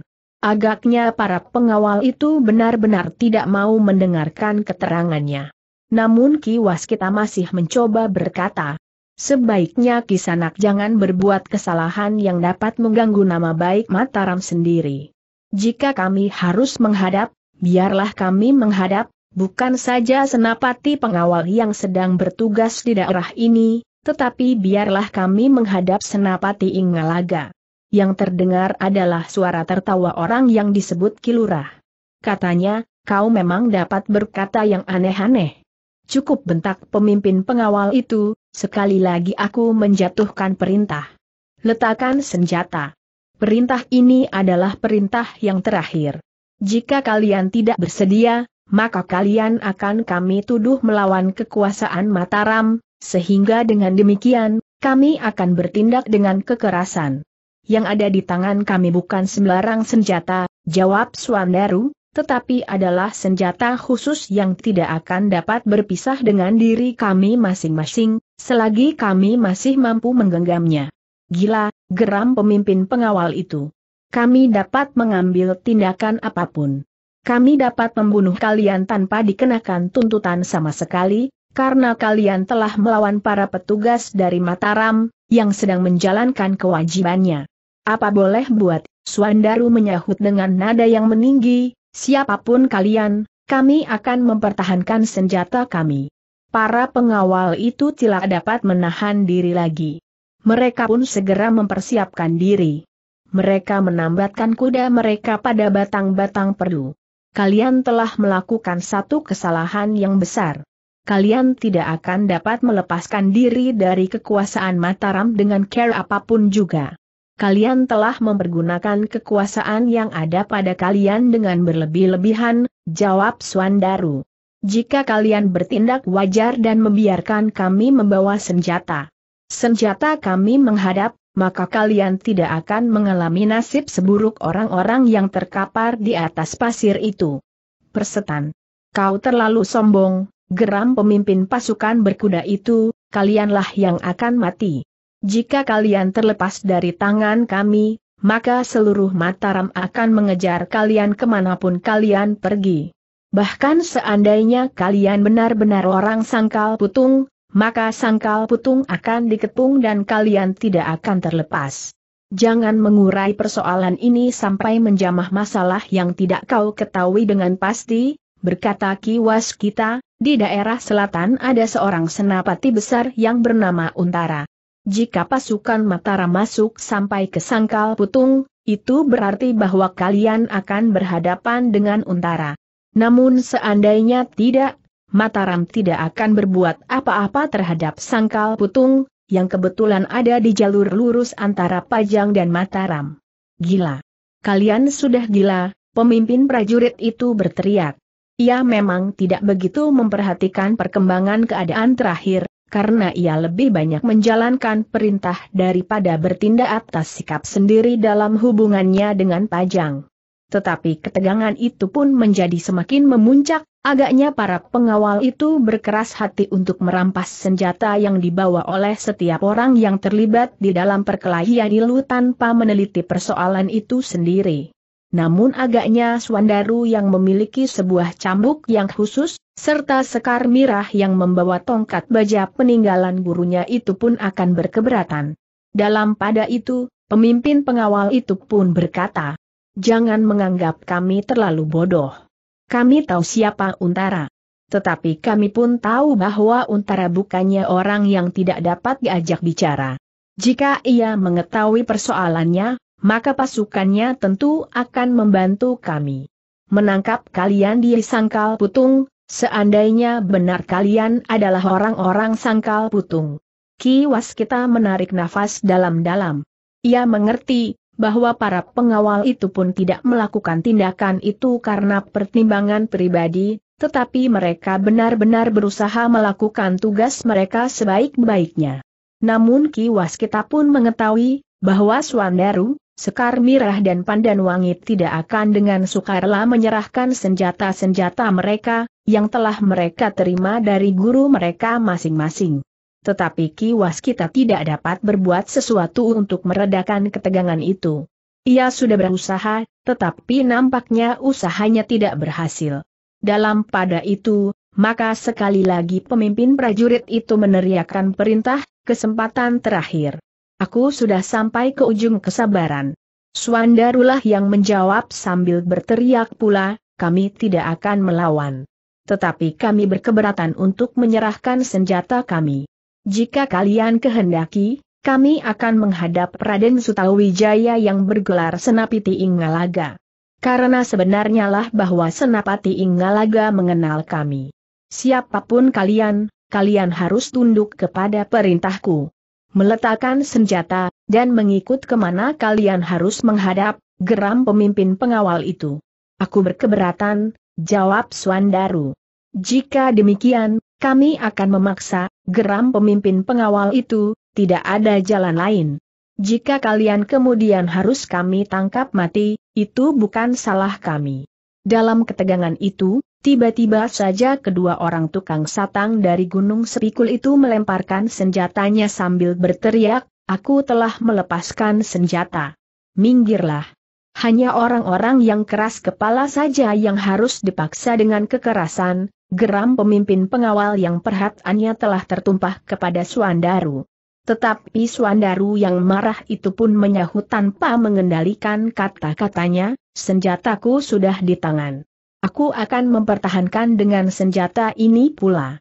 Pemimpin pengawal itu tidak menjawab. Ia maju selangkah. Namun pedangnya pun telah digenggamnya pula. Karena itu, maka kedua belah pihak pun segera bersiap. Pandan Wangi masih menggenggam pedangnya yang merah karena darah. Sementara ujung cambuk Suandaru telah mulai bergetar pula. Kiwas kita menjadi cemas. Jika kedua belah pihak benar-benar tidak dapat mengendalikan diri, maka keadaan akan menjadi semakin gawat. Apalagi jika kemudian akan jatuh korban. Menurut pengamatan kiwas kita, orang-orang yang datang itu benar-benar para pengawal Mataram, mungkin mereka orang-orang baru, mungkin orang-orang yang untuk waktu yang lama bertugas di tempat yang terpisah, atau karena sebab-sebab lain, sehingga mereka tidak pernah bertemu dan mengenal anak-anak muda sangkal putung itu. Tetapi kiwas kita tidak dapat berbuat sesuatu. Para pengawal itu telah mengepung Suandaru, Pandan Wangi dan Sekar Mirah. Dalam pada itu, orang-orang yang mencegat mereka ternyata telah bergeser menepi. Mereka telah melemparkan senjata mereka, sehingga para pengawal dari Mataram itu tidak banyak menghiraukan mereka. Ternyata benturan kekerasan tidak dapat dihindari lagi. Ketika para pengawal itu mendekat, cambuk Suandaru telah meledak dengan kerasnya.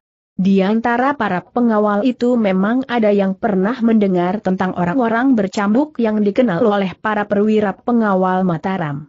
Tetapi karena menurut pendengaran mereka, orang-orang bercambuk itu hanyalah anak kademangan, maka sudah sewajarnya jika mereka harus tunduk kepada perintah para pengawal yang akan membawa mereka menghadap pemimpin kelompok mereka. Agaknya para pengawal itu benar-benar hanya memperhatikan mereka yang bersenjata. Namun karena kiwas kita telah mengaku berdiri di pihak anak-anak sangkal putung itu, maka para pengawal pun telah melibatkannya ke dalam pertempuran itu pula. Kiwas kita tidak dapat mengelak lagi. Ia harus menghadapi para pengawal yang berusaha menangkapnya meskipun ia masih membatasi tata geraknya pada usaha untuk mengelakkan setiap serangan. Namun pengawal yang jumlahnya berlipat dari jumlah anak-anak sangkal putung dan kiwas kita itu, untuk beberapa saat mampu membatasi gerak dan perlawanan mereka di dalam lingkaran kepungan yang rapat. Namun ternyata ledakan cambuk Swandaru, putaran pedang rangkapan dan wangi dan ayunan tongkat sekar mirah telah mampu mendesak lingkaran kepungan itu sehingga menjadi semakin luas. Para pengawal itu ternyata tidak dapat bertahan pada kepungan mereka. Di luar dugaan bahwa anak-anak sangkal putung itu telah memberikan perlawanan yang sengit. Gila, geram pemimpin pengawal itu, kau benar-benar telah memberontak, memberontak terhadap siapa geram Suandaru yang marah.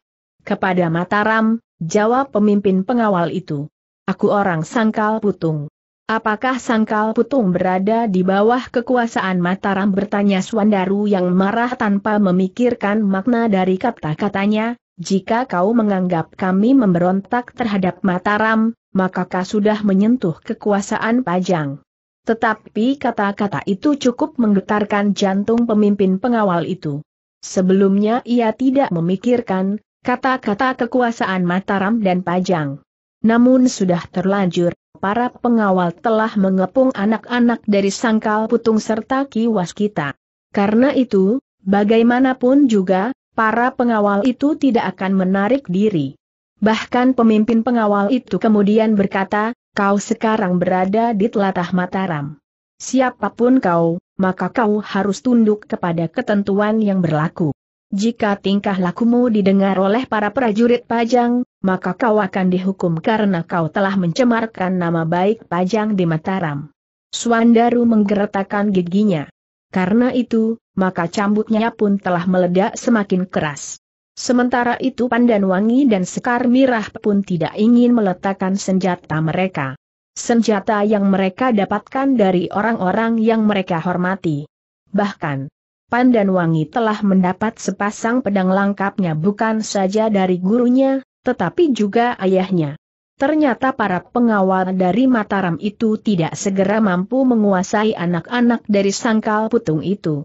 Ledakan cambuk Suandaru telah membuat kepungan itu semakin lama semakin longgar. Sekali-sekali ujung sepasang pedang pandan wangi telah mendorong lawannya meloncat surut. Sementara ayunan tongkat sekar mirah yang berdesing mengerikan, telah mengejutkan lawannya, sehingga mereka telah berloncatan mundur. Namun dalam pada itu, selagi pertempuran itu berlangsung dengan sengitnya, telah terdengar suara tertawa yang berkepanjangan. Ki Waskitalah yang kemudian melihat, orang yang disebut Ki Lurah itu ternyata telah mengambil satu langkah yang mengejutkan. Seorang pengawal Mataram yang menjaganya, telah terlempar dengan kerasnya di atas tepian yang ditumbuhi ilalang-ilalang itu. Yang terdengar adalah jerit yang panjang. Namun ketika jerit itu terputus, maka pengawal itu sudah tidak bernyawa lagi. Gila, geram kiwas kita, kalian telah berbuat satu kesalahan. Orang itu melarikan diri. Para pengawal itu termangu-mangu. Namun ketika kiwas kita bergerak setapak, pengawal itu mengacukan senjatanya, jangan membunuh diri. Tidak seorang pun yang mengetahui apa yang telah terjadi. Tetapi dua orang antara pengawal yang mengepung anak-anak sangkal putung dan kiwas kita itu pun terdorong dengan keras dan jatuh menelentang. Pada saat itu Ki Waskita telah meloncat mengejar orang yang disebut Ki Lurah itu. Beberapa saat, kedua belah pihak menjadi termangu-mangu. Para pengawal Mataram itu telah terpukau oleh peristiwa yang berturut-turut terjadi di luar kemampuan pengamatan mereka. Mereka tidak mengerti bagaimana seorang di antara mereka yang mengawasi orang yang menyatakan diri tidak bersenjata, dan yang nampaknya sama sekali tidak ingin melawan itu telah terlempar dan terbunuh. Sedang dua orang di antara mereka yang mengepung dengan rapat, telah terdorong jatuh tanpa sempat berbuat sesuatu, sehingga salah seorang di antara mereka yang terkepung sempat berlari meninggalkan lingkaran kepungan itu. Ki kita benar-benar tidak ingin kehilangan orang yang disebut Ki Lurah itu. Karena itulah, maka ia pun telah mengerahkan segenap kemampuannya pada langkah kakinya. Karena itulah, maka tubuhnya seolah-olah telah meluncur tanpa menyentuh tanah karena dorongan tenaga cadangannya. Tetapi Ki Lurah itu pun orang yang luar biasa pula. Ia pun mampu berlari secepat langkah Ki Waskita. Karena itu, maka jarak di antara mereka berdua sama sekali tidak menjadi semakin pendek. Beberapa lamanya mereka bekejaran di tepian yang panjang. Mereka menyusup di antara batang ilalang kemudian muncul di atas pasir yang membentang sepanjang sungai yang berair keruh itu. Namun ternyata kiwas kita tidak berhasil mengejarnya.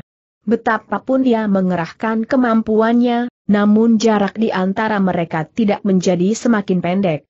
Dalam pada itu, Beberapa orang yang berada di tempat penyeberangan terkejut melihat bayangan yang bagaikan terbang di atas pasir. Sekilas lewat. Namun kemudian hilang di dalam rimbunnya batang ilalang. Namun akhirnya Ki Waskita pun menghentikan langkahnya. Ia menyadari kenyataan yang dihadapinya, bahwa ia tidak akan dapat mengejar orang yang berlari itu. Karena itu, maka ia lebih baik kembali saja kepada anak-anak sangkal putung yang masih belum diketahui, apakah yang terjadi pada mereka, karena orang-orang Mataram itu nampaknya tidak berhasil diajak berbicara dengan baik. Oleh kegelisahan itu, maka Ki Waskita pun kemudian berlari lagi kembali karena pertempuran yang ditinggalkannya. Untuk sesaat para pengawal dari Mataram itu masih dicengkam oleh peristiwa yang terjadi dengan tiba-tiba itu. Ketika ia berpaling dilihatnya dua orang dari Gunung Sepikul dan seorang lagi yang telah terluka oleh cambuk Suandaru duduk dengan tegangnya. Seorang kawanmu telah melarikan diri, geram salah seorang pengawal, kau akan memikul akibat. Karenanya, kedua tukang satang itu menjadi gemetar. Tetapi dua orang pengawal Mataram lelah keluar dari kepungan untuk mengawasi mereka, agar tidak terjadi peristiwa seperti yang baru saja terjadi. Sementara itu, Suandaru pun berkata, orang itu telah melarikan diri. Jika kiwas kita tidak berhasil menangkapnya, maka kalian telah kehilangan sumber keterangan yang tidak ternilai harganya. Tetapi jawab pemimpin pengawal itu mengejutkan Suandaru, kaulah yang bertanggung jawab. Jika kau tidak menentang perintahku, orang itu tidak akan sempat lari. Dan seorang kawanku tidak terbunuh olehnya. Tiba-tiba saja darah Suandaru yang panas itu bagaikan menggelegak. Jawabnya dengan nada tinggi, itu adalah kenyataan tentang kalian-kalian tidak cukup mampu melibatkan diri dalam pertentangan ilmu kanuragan dalam tingkat tinggi. Dua orang kawanmu terdorong jatuh tanpa dapat menghalangi paman meninggalkan kepungan ini. Kata-kata Suandaru itu membuat pemimpin pasukan pengawal dari Mataram itu semakin marah. Karena itu, maka jatuhlah perintahnya kepada para pengawal, tidak ada ampun lagi bagi orang-orang ini tangkap hidup atau mati. Kepungan itu pun kemudian merapat lagi. Senjata-senjata mulai teracu dan serangan pun datang beruntun. Namun cambuk Suandaru pun menggelegar seperti guntur di langit. Semakin lama semakin cepat dan semakin keras. Ujungnya berputaran dan terayun-ayun mengerikan. Sementara itu Pandan Wangi tidak mempunyai pilihan lain. Ia adalah istri Suandaru. Apa pun yang dilakukan oleh Suandaru merupakan perintah pula baginya. Dengan demikian, ketika Suandaru bertempur semakin garang, maka pedang Pandan Wangi pun semakin cepat berputar. Sepasang pedangnya kemudian berputar bergulung-gulung seperti segumpal asap beracun yang semakin lama menjadi semakin mendesak. Di arah yang lain. Sekar Mirah memutar tongkat baja putihnya. Tengkorak yang berwarna kekuning-kuningan di tangkal tongkat itu, kadang-kadang terayun pula dengan derasnya. Jika terjadi sentuhan senjata, maka Sekar Mirah selalu berhasil menyakiti tangan lawannya. Karena itulah, maka kepungan orang-orang Mataram itu tidak dapat dipertahankan pada lingkaran yang sempit. Semakin lama tidak semakin ketat dan sempit, justru menjadi semakin longgar. Ki Waskita yang berlari-lari kembali ke Arna itu pun akhirnya sampai juga. Dari kejauhan ia sudah melihat bahwa pertempuran di Arna itu semakin lama justru menjadi semakin sengit. Dengan tergesa-gesa Ki Waskita pun mendekat. Hampir berteriak ia berkata, kenapa kalian masih bertempur? Kalian sudah kehilangan sumber keterangan yang paling berharga. Aku tidak berhasil menangkapnya. Pemimpin pasukan pengawal dari Mataram itu berteriak menyahut, menyerahlah. Lebih baik kalian meletakkan senjata, daripada kalian harus mati. Jika kalian berhasil membunuh kami, itu lebih baik, teriak Suandaru pula, tetapi bagaimana jika kalian yang mati? Mataram tidak akan dapat mengambil tindakan apa-apa terhadap kami. Apalagi jika kami sudah berada kembali di Sangkal Putung. Kami akan mohon perlindungan pasukan pajang yang berada di sekitar kademanganku. Persetan, pemimpin pengawal itu menggeram serangannya menjadi semakin meningkat. Namun demikian kepungannya masih tetap tidak dapat dipersempit lagi. Justru serangan anak-anak muda sangkal putung itu semakin membadai, maka kepungan itu menjadi semakin lama semakin longgar. Ki Waskita yang menyaksikan pertempuran itu menjadi termangu-mangu.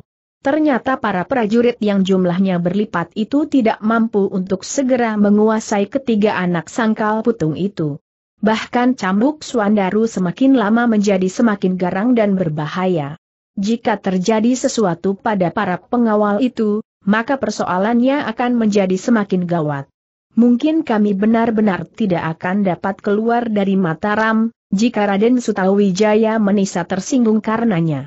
Tetapi jika Raden Sutawijaya bertindak atas kami, maka pasukan pajang di daerah Jati Anom tentu akan tersinggung pula.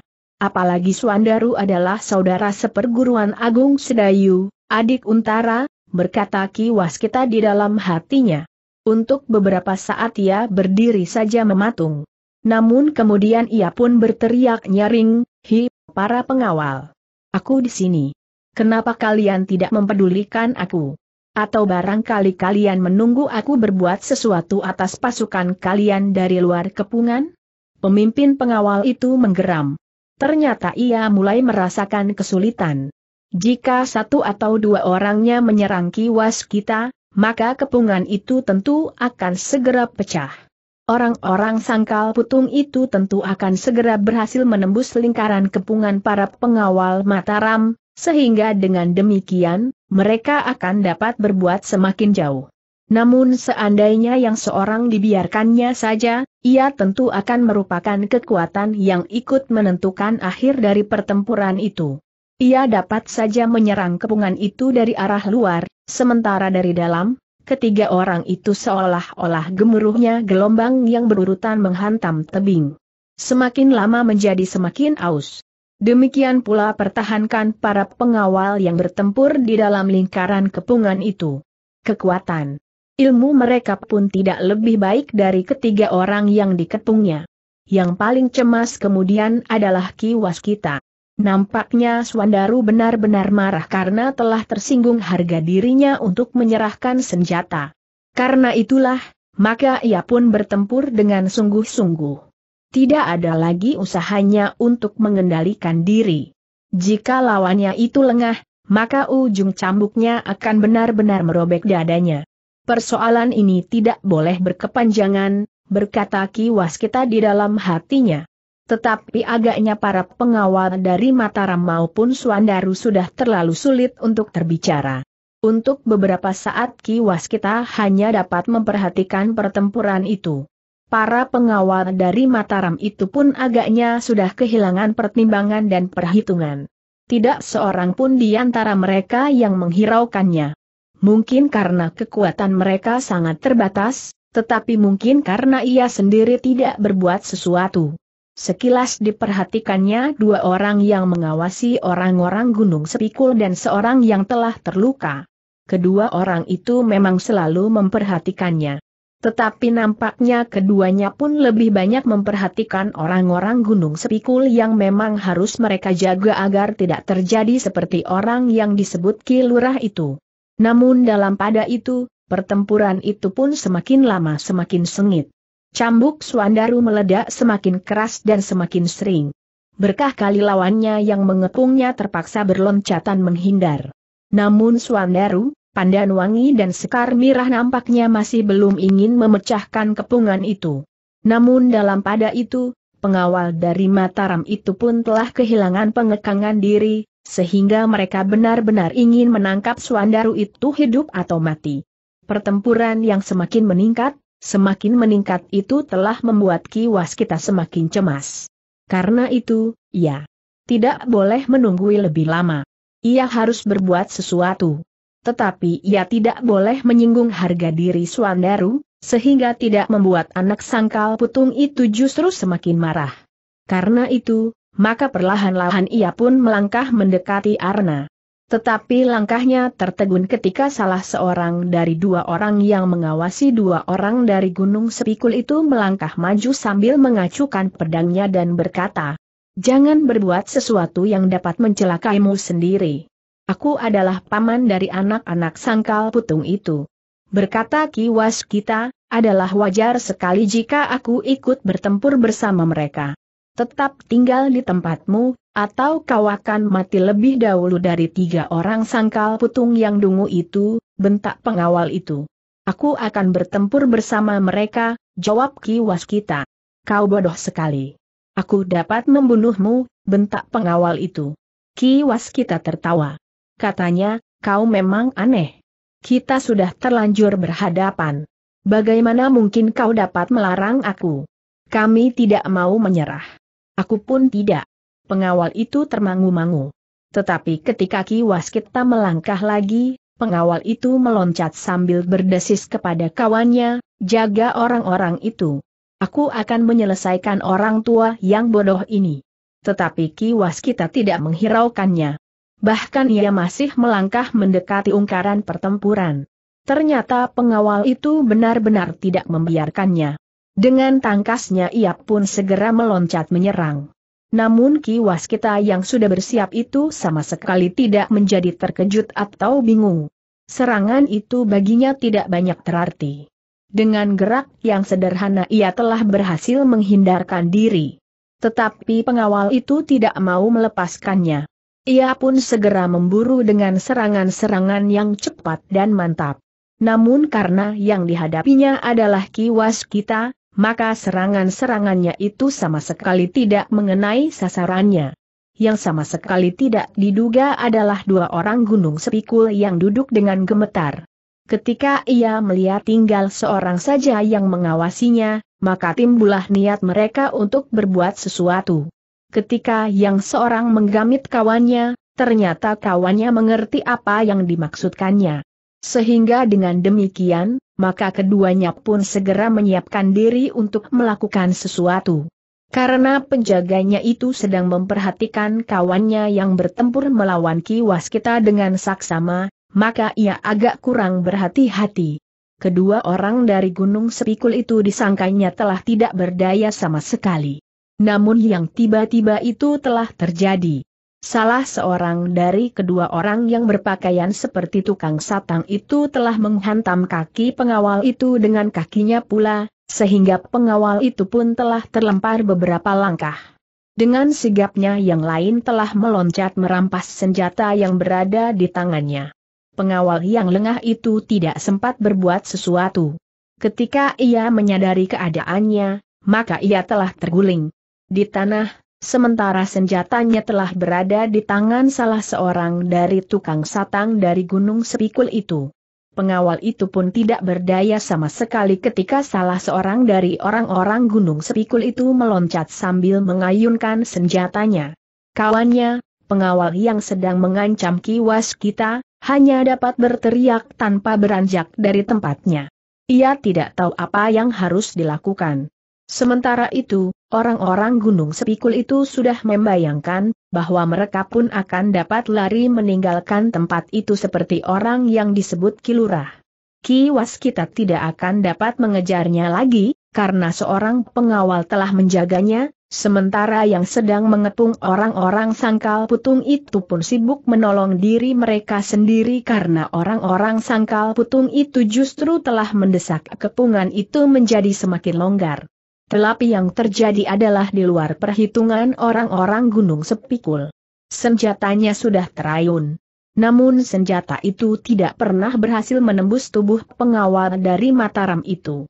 Tanpa diketahui bagaimana terjadinya, orang Gunung Sepikul itu telah terlempar dan terbanting jatuh.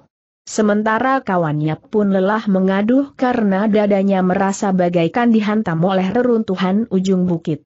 Pengawal yang sudah tidak berdaya itu pun kemudian bangkit berdiri. Ia melihat kawannya masih termangu-mangu, sementara kiwas kita berdiri beberapa langkah daripadanya. Namun sekali lagi terjadi sesuatu yang tidak diduga-duga. Prajurit yang telah bangkit itu tiba-tiba saja memungut senjatanya. Dengan serta-merta ia meloncat memburu kedua tukang satang yang sudah tidak berdaya itu. Jangan, cegah kiwas kita, keduanya akan kalian perlukan. Mungkin keduanya akan dapat memberikan keterangan tentang kawannya yang melarikan diri, meskipun aku yakin, keduanya datang dari kelompok yang berbeda. Pengawal itu termangu-mangu. Namun tiba-tiba saja terasa pengaruh orang tua itu telah mencengkam jantungnya. Karena itu maka pengawal itu tidak melanjutkan niatnya untuk membunuh pengawal yang telah membuatnya sangat marah. Kedua orang dari Gunung Sepikul itu tidak segera dapat bangkit. Tubuh mereka bagaikan telah diremukan tulang-tulangnya. Terdengar keduanya mengaduh perlahan-lahan. Peristiwa itu telah menghentikan pertempuran anak-anak sangkal putung dengan para pengawal. Pemimpin pengawal itu menjadi heran, bahwa kiwas kita justru telah menolong kedua orang pengawal yang kehilangan keseimbangan karena kelengahannya itu. Ada sepercik keragu-raguan di dalam hatinya. Namun rasa harga dirinya telah menyelubungi jantungnya yang panas karena sikap orang-orang sangkal putung yang tidak mau melepaskan senjatanya itu. Tetapi mereka pun tidak dapat mengabaikan kenyataan. Orang-orang sangkal putung itu, dan terlebih-lebih orang tua yang ke sananya itu adalah orang yang memiliki ilmu yang tinggi. Dalam pada itu, yang terdengar kemudian adalah suara kiwas kita, kisanak, para pengawal dari Mataram. Kalian jangan kehilangan nalar. Kalian sudah melihat apa yang terjadi.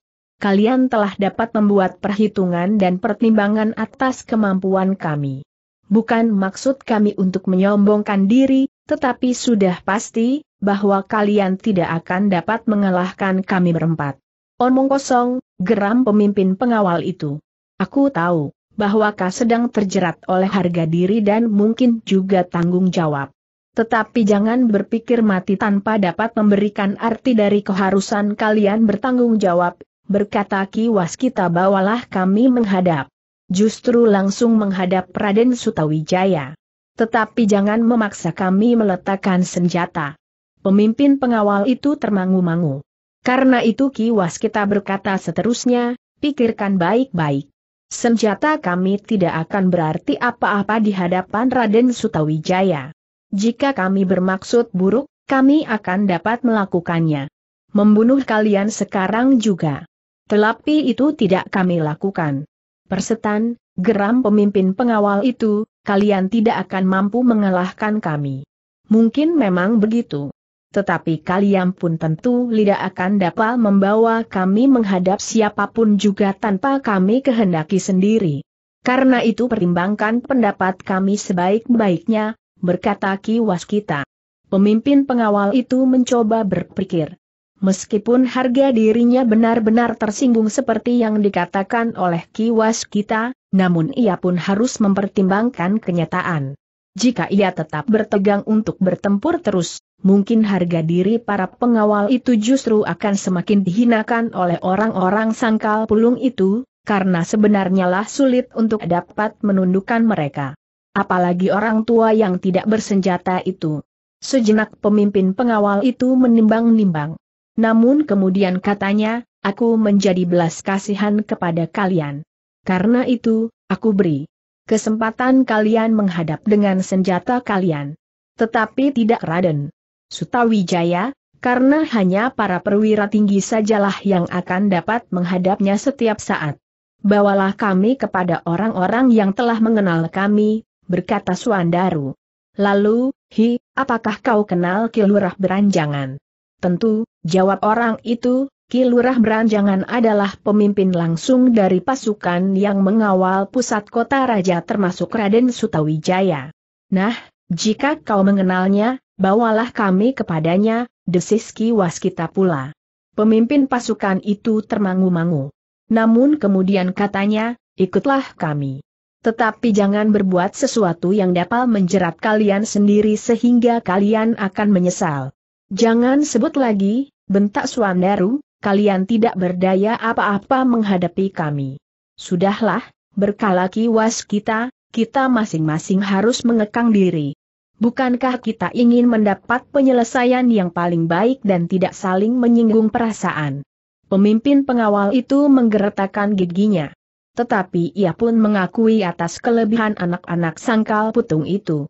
Karena itu, maka yang paling baik dapat dilakukan memang membawa orang-orang itu menghadap Ki Lurah Beranjangan seperti yang dimaksud oleh anak-anak sangkal putung itu, sementara mereka, para pengawal masih tetap mengawal mereka dalam kedudukan mereka. Demikianlah, maka pemimpin pengawal itu pun memerintahkan dua orang di antara mereka untuk mengurusi orang-orang yang terbunuh. Sementara para tawanan yang lain pun harus mengikut mereka pergi menghadap para pemimpin pengawai, meskipun mereka tidak akan langsung dihadapkan kepada kilurah beranjangan. Sebenarnya lah Swandaru merasa kecewa juga, bahwa ia tidak dapat memaksa para pengawal itu benar-benar mengakui kekalahan mereka. Tetapi Swandaru pun harus menghargai sikap Ki Waskita yang ingin melerai permusuhan itu, agar tidak menimbulkan persoalan-persoalan yang lebih besar lagi. Dengan senjata masih tetap pada pemiliknya masing-masing, maka Ki Waskita, Swandaru, Pandanwangi dan Sekar Mirah segera naik ke punggung kuda. Mereka sama sekali bukan lawanan yang sedang digiring menghadap seperti sepasang tukang satang dari gunung sepikul itu. Kedatangan iring-iringan itu memang mengejutkan. Ketika mereka mendekati gerbang kota raja, maka para penjaga pun segera mendekati mereka dengan kesiagaan. Siapakah mereka bertanya para pengawal? Pemimpin pengawal itu menjadi lagu-ragu.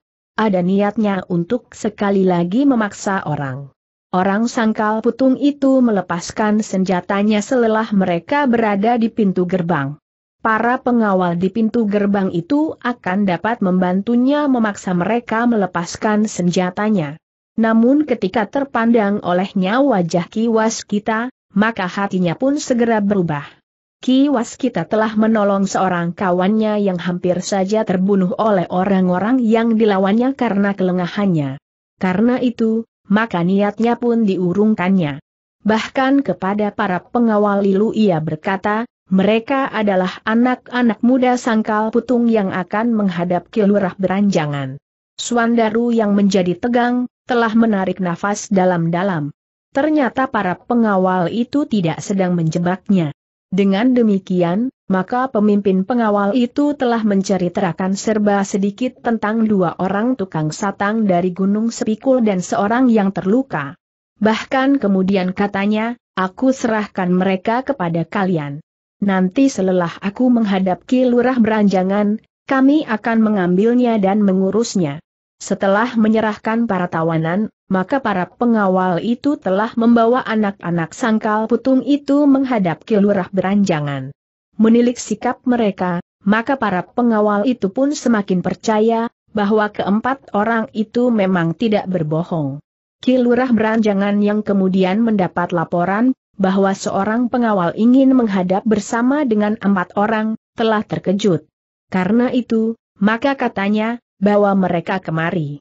Pengawal yang membawa anak-anak sangkal putung itu pun telah mulai menjadi berdebar-debar ketika mereka menunggu. Ternyata beberapa orang perwira pengawal segera mengenal mereka dan menyapanya. Bukankah aku berhadapan dengan Swandaru dari Sangkal Putung? Bertanya seorang perwira yang mengenalnya dengan baik. Swandaru tertawa. Katanya, ya, aku adalah Swandaru dari Sangkal Putung. Apakah kau akan bertemu dengan Raden Sutawijaya yang bergelar Senapati Inggalaga bertanya perwira itu. Sebenarnya tidak. Tetapi aku telah berada di sini. Mungkin aku dapat menghadap Kilurah Beranjangan. Apabila ini sudah dianggap cukup, maka aku pun akan segera meneruskan perjalanan, jawab Swandaru. Perwira itu menjadi haran. Sambil memperhatikan pakaian Swandaru ia bertanya, Apakah yang sudah terjadi atasmu? Suandaru termangu-mangu sejenak. Namun kemudian katanya, aku bertemu dengan sekelompok orang-orang yang berniat buruk. Aku tidak mengenal mereka. Beberapa orang di antaranya berhasil ditawan oleh pasukan pengawal Mataram yang sedang meronda. Perwira itu mengangguk-angguk, sementara pemimpin pasukan pengawal yang meronda itu menjadi berdebar-debar. Ternyata seperti yang dikatakan, Suandaru mengenal beberapa orang perwira. Sudahlah, berkata pemimpin pengawal yang sedang meronda, dan yang telah membawa Suandaru menghadap. Aku akan mengurus para tawanan itu. Tunggulah di sini, Ki Lurah Beranjangan akan segera menemuimu. Tunggu, berkata Suandaru kepada pemimpin pasukan pengawal yang sedang meronda dan yang akan menangkapnya itu, aku belum bertemu dengan Ki Lurah Beranjangan. Kaulah yang akan bertemu dengan Kilurah, jawab pemimpin pengawal itu, aku sudah mengantarkan sampai ke tempat ini. Ada niat Suandaru untuk mengatakan sesuatu tentang tingkah laku pemimpin pengawal itu, tetapi niat itu diurungkannya. Meskipun demikian ia berkata, kau harus menyampaikan laporan kepada Kilurah, sebelum kau meninggalkan kami di sini. Jalur laporanku seharusnya tidak langsung kepada Kilurah beranjangan. Tetapi kepada Ki Lurah Tangkilan, jawab pemimpin pengawal itu, jika aku sekarang membawamu kepada Ki Lurah Beranjangan, itu karena permintaanmu. Swandaru menarik nafas dalam-dalam. Dipandanginya Ki Waskita sekilas yang kemudian berkata, baiklah. Biarlah kita menghadap Ki Lurah Beranjangan. Swandaru termangu-mangu. Namun katanya kemudian, baiklah. Tinggalkan kami di sini. Pemimpin pengawal itu pun kemudian minta diri kepada beberapa orang perwira yang menemui Swandaru, kembali kepada anak buahnya. Bagaimana bertanya anak buahnya? Pemimpin pengawal itu mengumpat. Katanya, anak itu memang anak bengal. Ia benar-benar mengenal beberapa orang perwira dengan baik. Agaknya mereka pun mengenal Raden Sutawijaya seperti mengenal kawannya sendiri. Bagaimana dengan Ki Lurah Beranjangan bertanya pengawalnya. Aku tidak menunggunya, jawab pemimpin pengawal itu. Biarlah mereka menemuinya. Apa saja yang akan dikatakan, aku tidak peduli. Tetapi agaknya mereka tidak akan mengatakan yang tidak sebenarnya. Bagaimana jika mereka mengatakan, bahwa kita berusaha melucuti senjata mereka bertanya salah seorang pengawal. Biar saja. Aku tidak pernah merasa bersalah dengan usaha untuk melucutinya. Itu adalah kewajiban kita, siapa pun. Orang yang kita hadapi. Kesalahan kita adalah justru kita tidak berhasil melucuti mereka, jawab pemimpin pengawal itu. Para pengawal, anak buahnya menarik nafas dalam-dalam. Mereka percaya bahwa pemimpin itu tidak akan mengingkari tanggung jawab. Karena itu, maka para pengawal itu pun kemudian kembali kepada para pengawal di pintu gerbang untuk mengurus beberapa orang tawanan yang dibawanya dan menyerahkan mereka kepada pimpinannya langsung untuk diperiksa selanjutnya. Sementara itu, dua orang pengawal yang ditinggalkan di pinggir sungai Praga untuk mengubur dan mengurus segala sesuatunya telah selesai dan telah rampai pula ke dalam gerbang kota. Dalam pada itu, Ki Lurah Beranjangan telah berada di antara para perwira yang menemui Suandaru. Dengan serta meriah Ki Lurah pun bertanya tentang keselamatan mereka dan sana kadang disangkal putung. Suandaru pun menjawab dengan singkat, bahwa sanak kadang ternyata selamat dan sehat-sehat saja. Demikian pula keluarga Ki Gede menoreh di tanah perdikan menoreh. Jadi kalian dan Ki kita baru kembali dari tanah perdikan menoreh bertanya Ki Lurah beranjangan. Ya, jawab Swandaru. Apakah kalian membawa pesan dari Sangkal Putung atau dari tanah perdikan menoreh bertanya Ki Lurah beranjangan. Swandaru termangu-mangu. Namun kemudian sekali lagi ia memandangi Ki Waskita minta pertimbangan. Ki Waskita yang tanggap atas sikap Swandaru itu pun kemudian berkata, ceritakan apa yang kau ketahui dan kau alami. Swandaru beringsut setapak. Kemudian katanya, sebenarnya kami tidak akan singgah di Mataram, karena perjalanan kami benar-benar perjalanan bagi kepentingan keluarga. Paman Argapati yang merasa kesepian, merasa rindu untuk bertemu dengan anaknya. Bahkan ia telah mulai membicarakan masa depan tanah perdikan menoreh, jika Paman Argapati telah tidak dapat lagi melakukan tugasnya dengan baik. Kilurah beranjangan mengangguk-angguk. Sementara itu, Swandaru pun kemudian menceritakan apa yang telah dialaminya. Diceritakannya tentang orang-orang yang telah berusaha untuk mencegatnya dengan perencanaan yang baik, karena orang itu telah mengenal semua orang yang menempuh perjalanan bersamanya. Orang-orang itu mengenal Pandan Wangi dan Sekar Mirah. Kecuali Ki Waskita. Ki Lurah Beranjangan masih mengangguk-angguk, ia memperhatikan segala keterangan Swandaru dengan seksama. Bahwa orang yang disebut Ki Lurah itu sudah mengenal Swandaru, Pandan Wangi dan Sekar Mirah dengan baik, adalah sangat menarik perhatian tentu bukan sekedar seorang penyamun, desis kilurah beranjangan. Tentu bukan, jawab Swandaru, meskipun ada dua orang di antara mereka yang mencurigakan di antara kawan-kawannya. Kedua orang yang nampaknya dari kelompok yang berbeda. Yang dikatakan oleh Swandaru itu memang sangat menarik perhatian. Sekali-sekali kiwas kita juga menegaskan cerita Swandaru itu serta tanggapannya atas orang-orang yang telah mencoba menjebaknya itu. Aku ingin mendengar keterangan dari orang-orang yang tertangkap itu, berkata Kilurah beranjangan. Aku akan langsung minta agar orang-orang itu diserahkan padaku. Jika Kilurah tidak berkeberatan, apakah kami juga diperkenankan untuk mendengarkan keterangannya? Bertanya Swandaru. Tentu tidak. Tetapi sebaiknya kalian menghadap Raden Sutawijaya yang bergelar Senapati Ingalaga. Sudah lama kau tidak bertemu. Mungkin akan timbul pembicaraan yang menarik di antara kalian, berkata Kilurah beranjangan. Suandaru tidak dapat menyatakan keberatan. Karena itu, ketika Ki Lurah Beranjangan menyampaikan kehadirannya di Mataram, Suandaru, istri dan adiknya, serta Ki Waskita, terpaksa duduk menunggu di pendapa. Sementara mereka mendapat hidangan minuman hangat dan beberapa potong makanan. Ternyata Raden Sutawijaya telah memanggil mereka masuk ke ruang samping. Kedatangan mereka nampaknya telah memberikan kegembiraan bagi Senapati Inggalaga itu. Sudah lama kita tidak bertemu, berkata Senapati Inggalaga setelah ia mempersilahkan tamu-tamunya duduk dan bertanya tentang keselamatan mereka. Ya Raden, jawab Swandaru, agaknya seperti sudah diatur, bahwa kami memang harus menghadap hari ini. Kenapa bertanya Raden Sutawijaya? Sebenarnya kami tidak ingin singgah, berkata Suandaru yang kemudian mengulangi ceritanya tentang orang-orang yang mencegatnya dan para pengawal yang membawanya menghadap. Raden Sutawijaya tersenyum. Katanya, akulah yang minta maaf, bahwa para pengawal telah bertindak kasar. Tetapi sebenarnya lah keadaan daerah ini pada saat-saat terakhir ini juga kurang menguntungkan, sehingga para pengawal seolah-olah telah disudutkan untuk bertindak lebih berhati-hati. Tetapi seandainya pemimpin peronda atau salah seorang dari para pengawal itu mengenalmu, mereka tidak akan memperlakukan kalian seperti itu. Swandaru menarik nafas dalam-dalam. Ia tidak menjawab.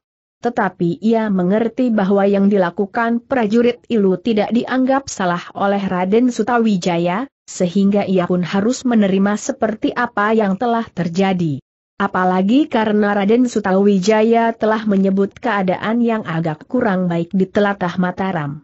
Dalam pada itu, maka untuk beberapa saat lamanya, Suandaru, Pandanwangi, Sekar Mirah dan Ki Waskita dipersilahkan duduk sejenak, untuk menghirup minuman dan makanan yang telah dibawa masuk pula, sementara Raden Sutawijaya telah memanggil Ki Lurah Beranjangan. Aku ingin agar orang-orang itu dijaga baik-baik bukan karena mereka akan dapat melarikan diri, tetapi yang luka itu agar dapat disembuhkan sementara kedua orang tukang satang itu jangan mengalami perlakuan yang dapat membuat mereka kehilangan ingatan, berkata Raden Sutawijaya. Mereka telah berada di tangan para petugas khusus, berkata Ki Lurah Beranjangan, aku telah memerintahkannya. Aku telah mengatakannya pula, bahwa aku sendiri akan bertemu dengan mereka. Raden. Menarik sekali. Aku sebenarnya juga ingin bertemu dengan mereka. Tetapi silahkan Ki Lurah menemuinya lebih dahulu, berkata Raden Sutawijaya kemudian. Suandaru termangu-mangu. Sebenarnya ia ingin juga mendengar apa yang dikatakan oleh orang-orang yang tertawan itu seperti yang pernah disampaikannya kepada Ki Lurah Beranjangan. Namun Raden Sutawijaya yang agaknya mengerti maksudnya telah berkata, silahkan duduk dan beristirahat. Biarlah Kilurah Beranjangan memeriksa mereka. Nanti, dalam persoalan yang khusus, kita akan membicarakannya. Suandaru tidak dapat membantah. Betapa senyumnya menjadi hambar. Namun ia pun menyahut, baiklah Raden. Meskipun sebenarnya aku ingin sekali segera mengetahui latar belakang dari peristiwa ini. Latar belakang dari peristiwa ini tentu sudah dapat kita duga, sahut Raden Sutawijaya, hanya masalah-masalah khusus yang barangkali tidak banyak bermanfaat sajalah yang akan kita dengar dari mereka. Swandaru menarik nafas dalam-dalam. Justru ia berpendapat agak lain mungkin sekali dari mulut mereka akan dapat didengar keterangan yang akan sangat penting artinya. Sementara Suandaru masih duduk di ruang samping, maka Ki Lurah Beranjangan telah menerima para pengawal yang mengantar para tawanan di tempat yang khusus, tidak di lingkungan halaman rumah Raden Sutawijaya. Bahkan Ki Lurah Beranjangan ternyata telah menyampaikan persoalan itu kepada Ki Juru Martani pula yang hadir di tempat itu sebelum menemui anak-anak sangkal putung. Para tawanan itu telah menjadi gemetar. Meskipun yang terluka telah mendapat perawatan dan pengobatan, namun wajahnya justru nampak semakin pucat. Jantungnya rasa-rasanya berdenyut semakin cepat. Ki Lurah Beranjangan yang ditunggui Ki Juru Martani, serta dua orang pengawal khusus mulai dengan beberapa pertanyaan yang tidak penting. Namun jawaban orang-orang itu membuat Ki Lurah dan Ki Juru kecewa. Meskipun seandainya kemudian mereka memaksa untuk memeras keterangan mereka, yang mereka ketahui nampaknya tidak terlalu banyak. Mereka hanya tahu bahwa mereka mendapat perintah dari orang yang mereka sebut Kilurah untuk membinasakan anak-anak sangkal putung. Kedua orang yang mengaku berasal dari Gunung Sepikul itu nampak betapa gugup dan bingung. Namun dalam beberapa hal Ki Lurah Beranjangan kemudian mengetahui, bahwa keduanya benar-benar tidak akan dapat banyak memberikan keterangan. Keduanya adalah orang-orang yang diajak melakukan rencana pembunuhan itu pada saat dekat dilakukan dengan janji, bahwa mereka akan mendapat apa saja yang ada pada orang-orang yang akan menjadi korban. Kau begitu mudah percaya, berkata Kilurah, dan apakah keuntunganmu? Ada keuntungan kami tuan, jawab salah seorang dari kedua orang itu, mungkin kami tidak akan pernah mendapat kesempatan menyamun anak-anak sangkal putung itu. Tetapi karena ada beberapa orang yang akan membantu kami, meskipun dari sudut pandangan yang lain, kamilah yang akan membantu mereka, maka hal itu kami lakukan juga. Kami berharap untuk mendapat bekal yang mereka bawa, dan terutama perhiasan dari anak demang yang kaya itu. Jawaban itu memang masuk akal. Beberapa kali mereka dipaksa untuk menjawab, jawaban mereka hampir tidak berubah. Karena itu, dari kedua orang gunung sepikul itu tidak dapat diharapkan keterangan yang memadai tentang orang yang disebut Kilurah itu.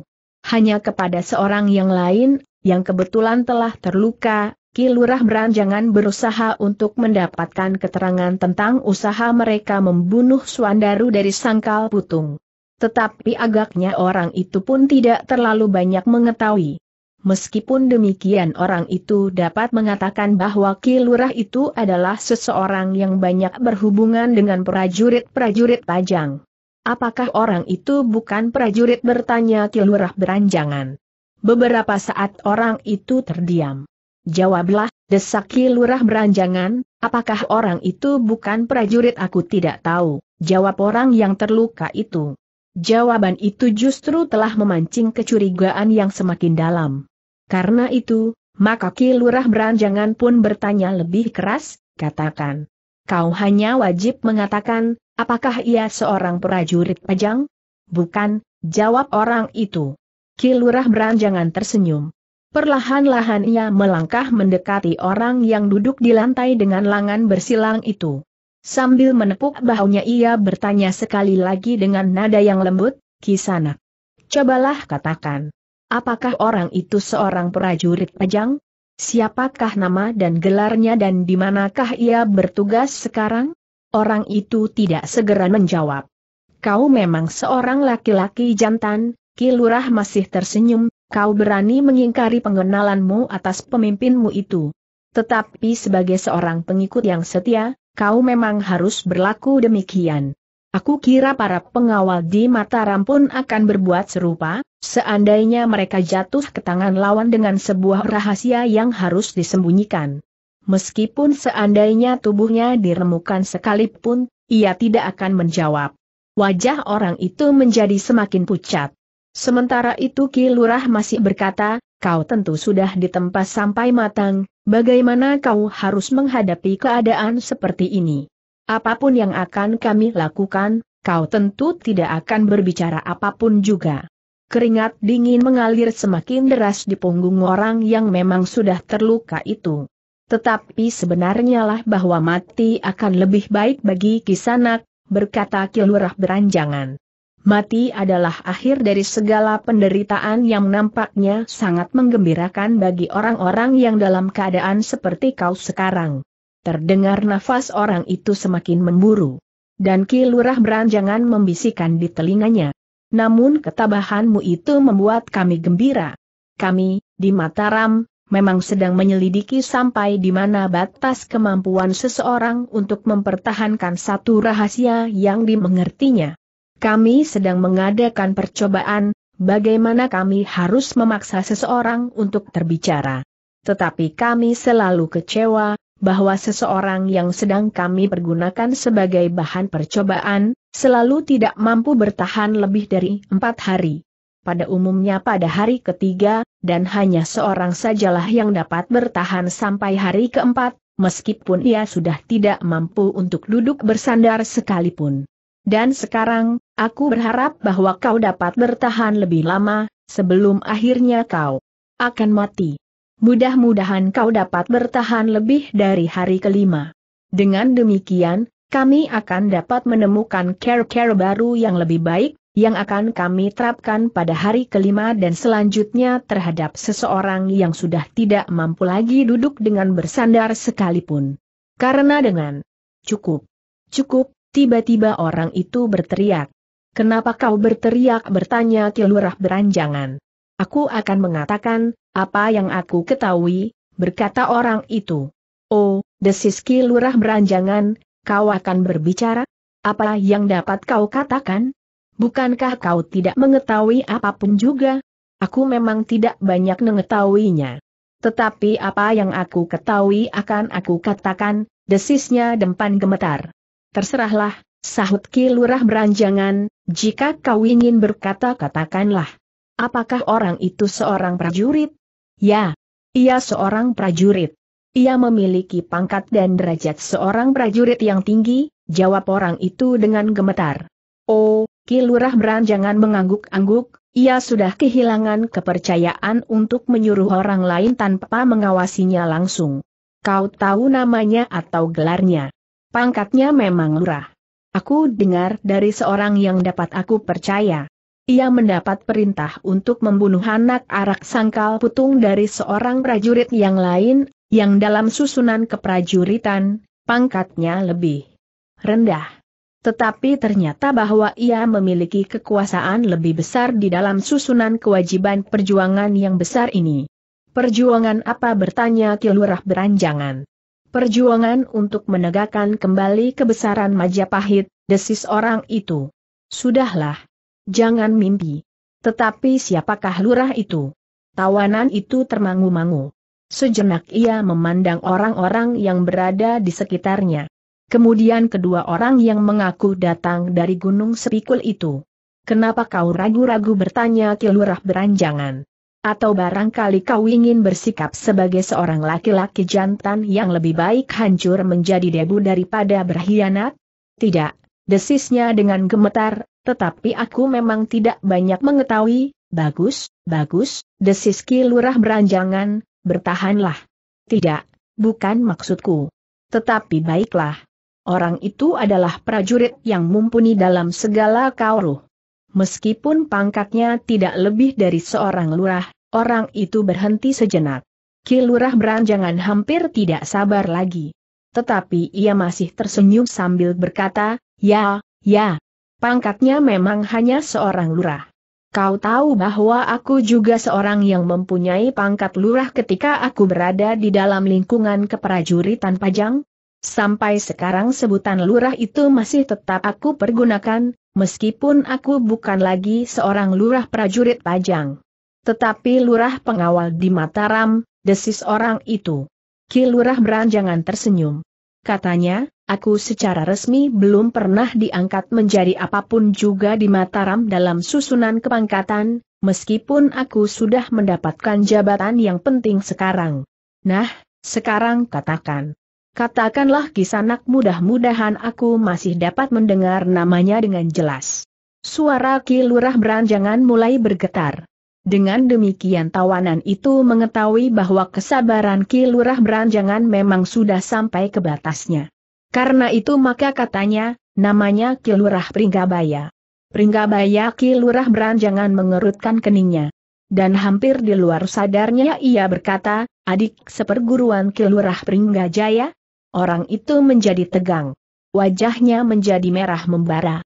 Seolah-olah ia merasa sangat menyesal, bahwa ia sudah menyebut nama orang itu. Jawab. Apakah ia saudara seperguruan Ki Pringgajaya yang pernah berusaha membunuh Agung Sedayu dan yang kemudian dinyatakan telah mati oleh lingkungan keprajuritan Pajang Desis Kilurah Beranjangan? Orang itu tidak menjawab. Tetapi wajahnya kemudian tertunduk lesu. Jika demikian, aku menjadi jelas. Ia tentu mendapat perintah, atau katakan saja, telah sepakat untuk melakukannya seperti juga yang dilakukan oleh Ki Pringgajaya. Apakah Ki Pringgajaya berpangkat lebih rendah seperti yang kau katakan atau tidak? Tetapi aku sudah dapat membayangkan apakah kira-kira yang terjadi, Kilurah. Beranjangan kemudian mengangguk-angguk. Lalu, di mana Ki Pringgajaya sekarang, ia sudah mati, desis orang itu. Katakan sekali lagi, bahwa ia sudah mati, desis Kilurah beranjangan.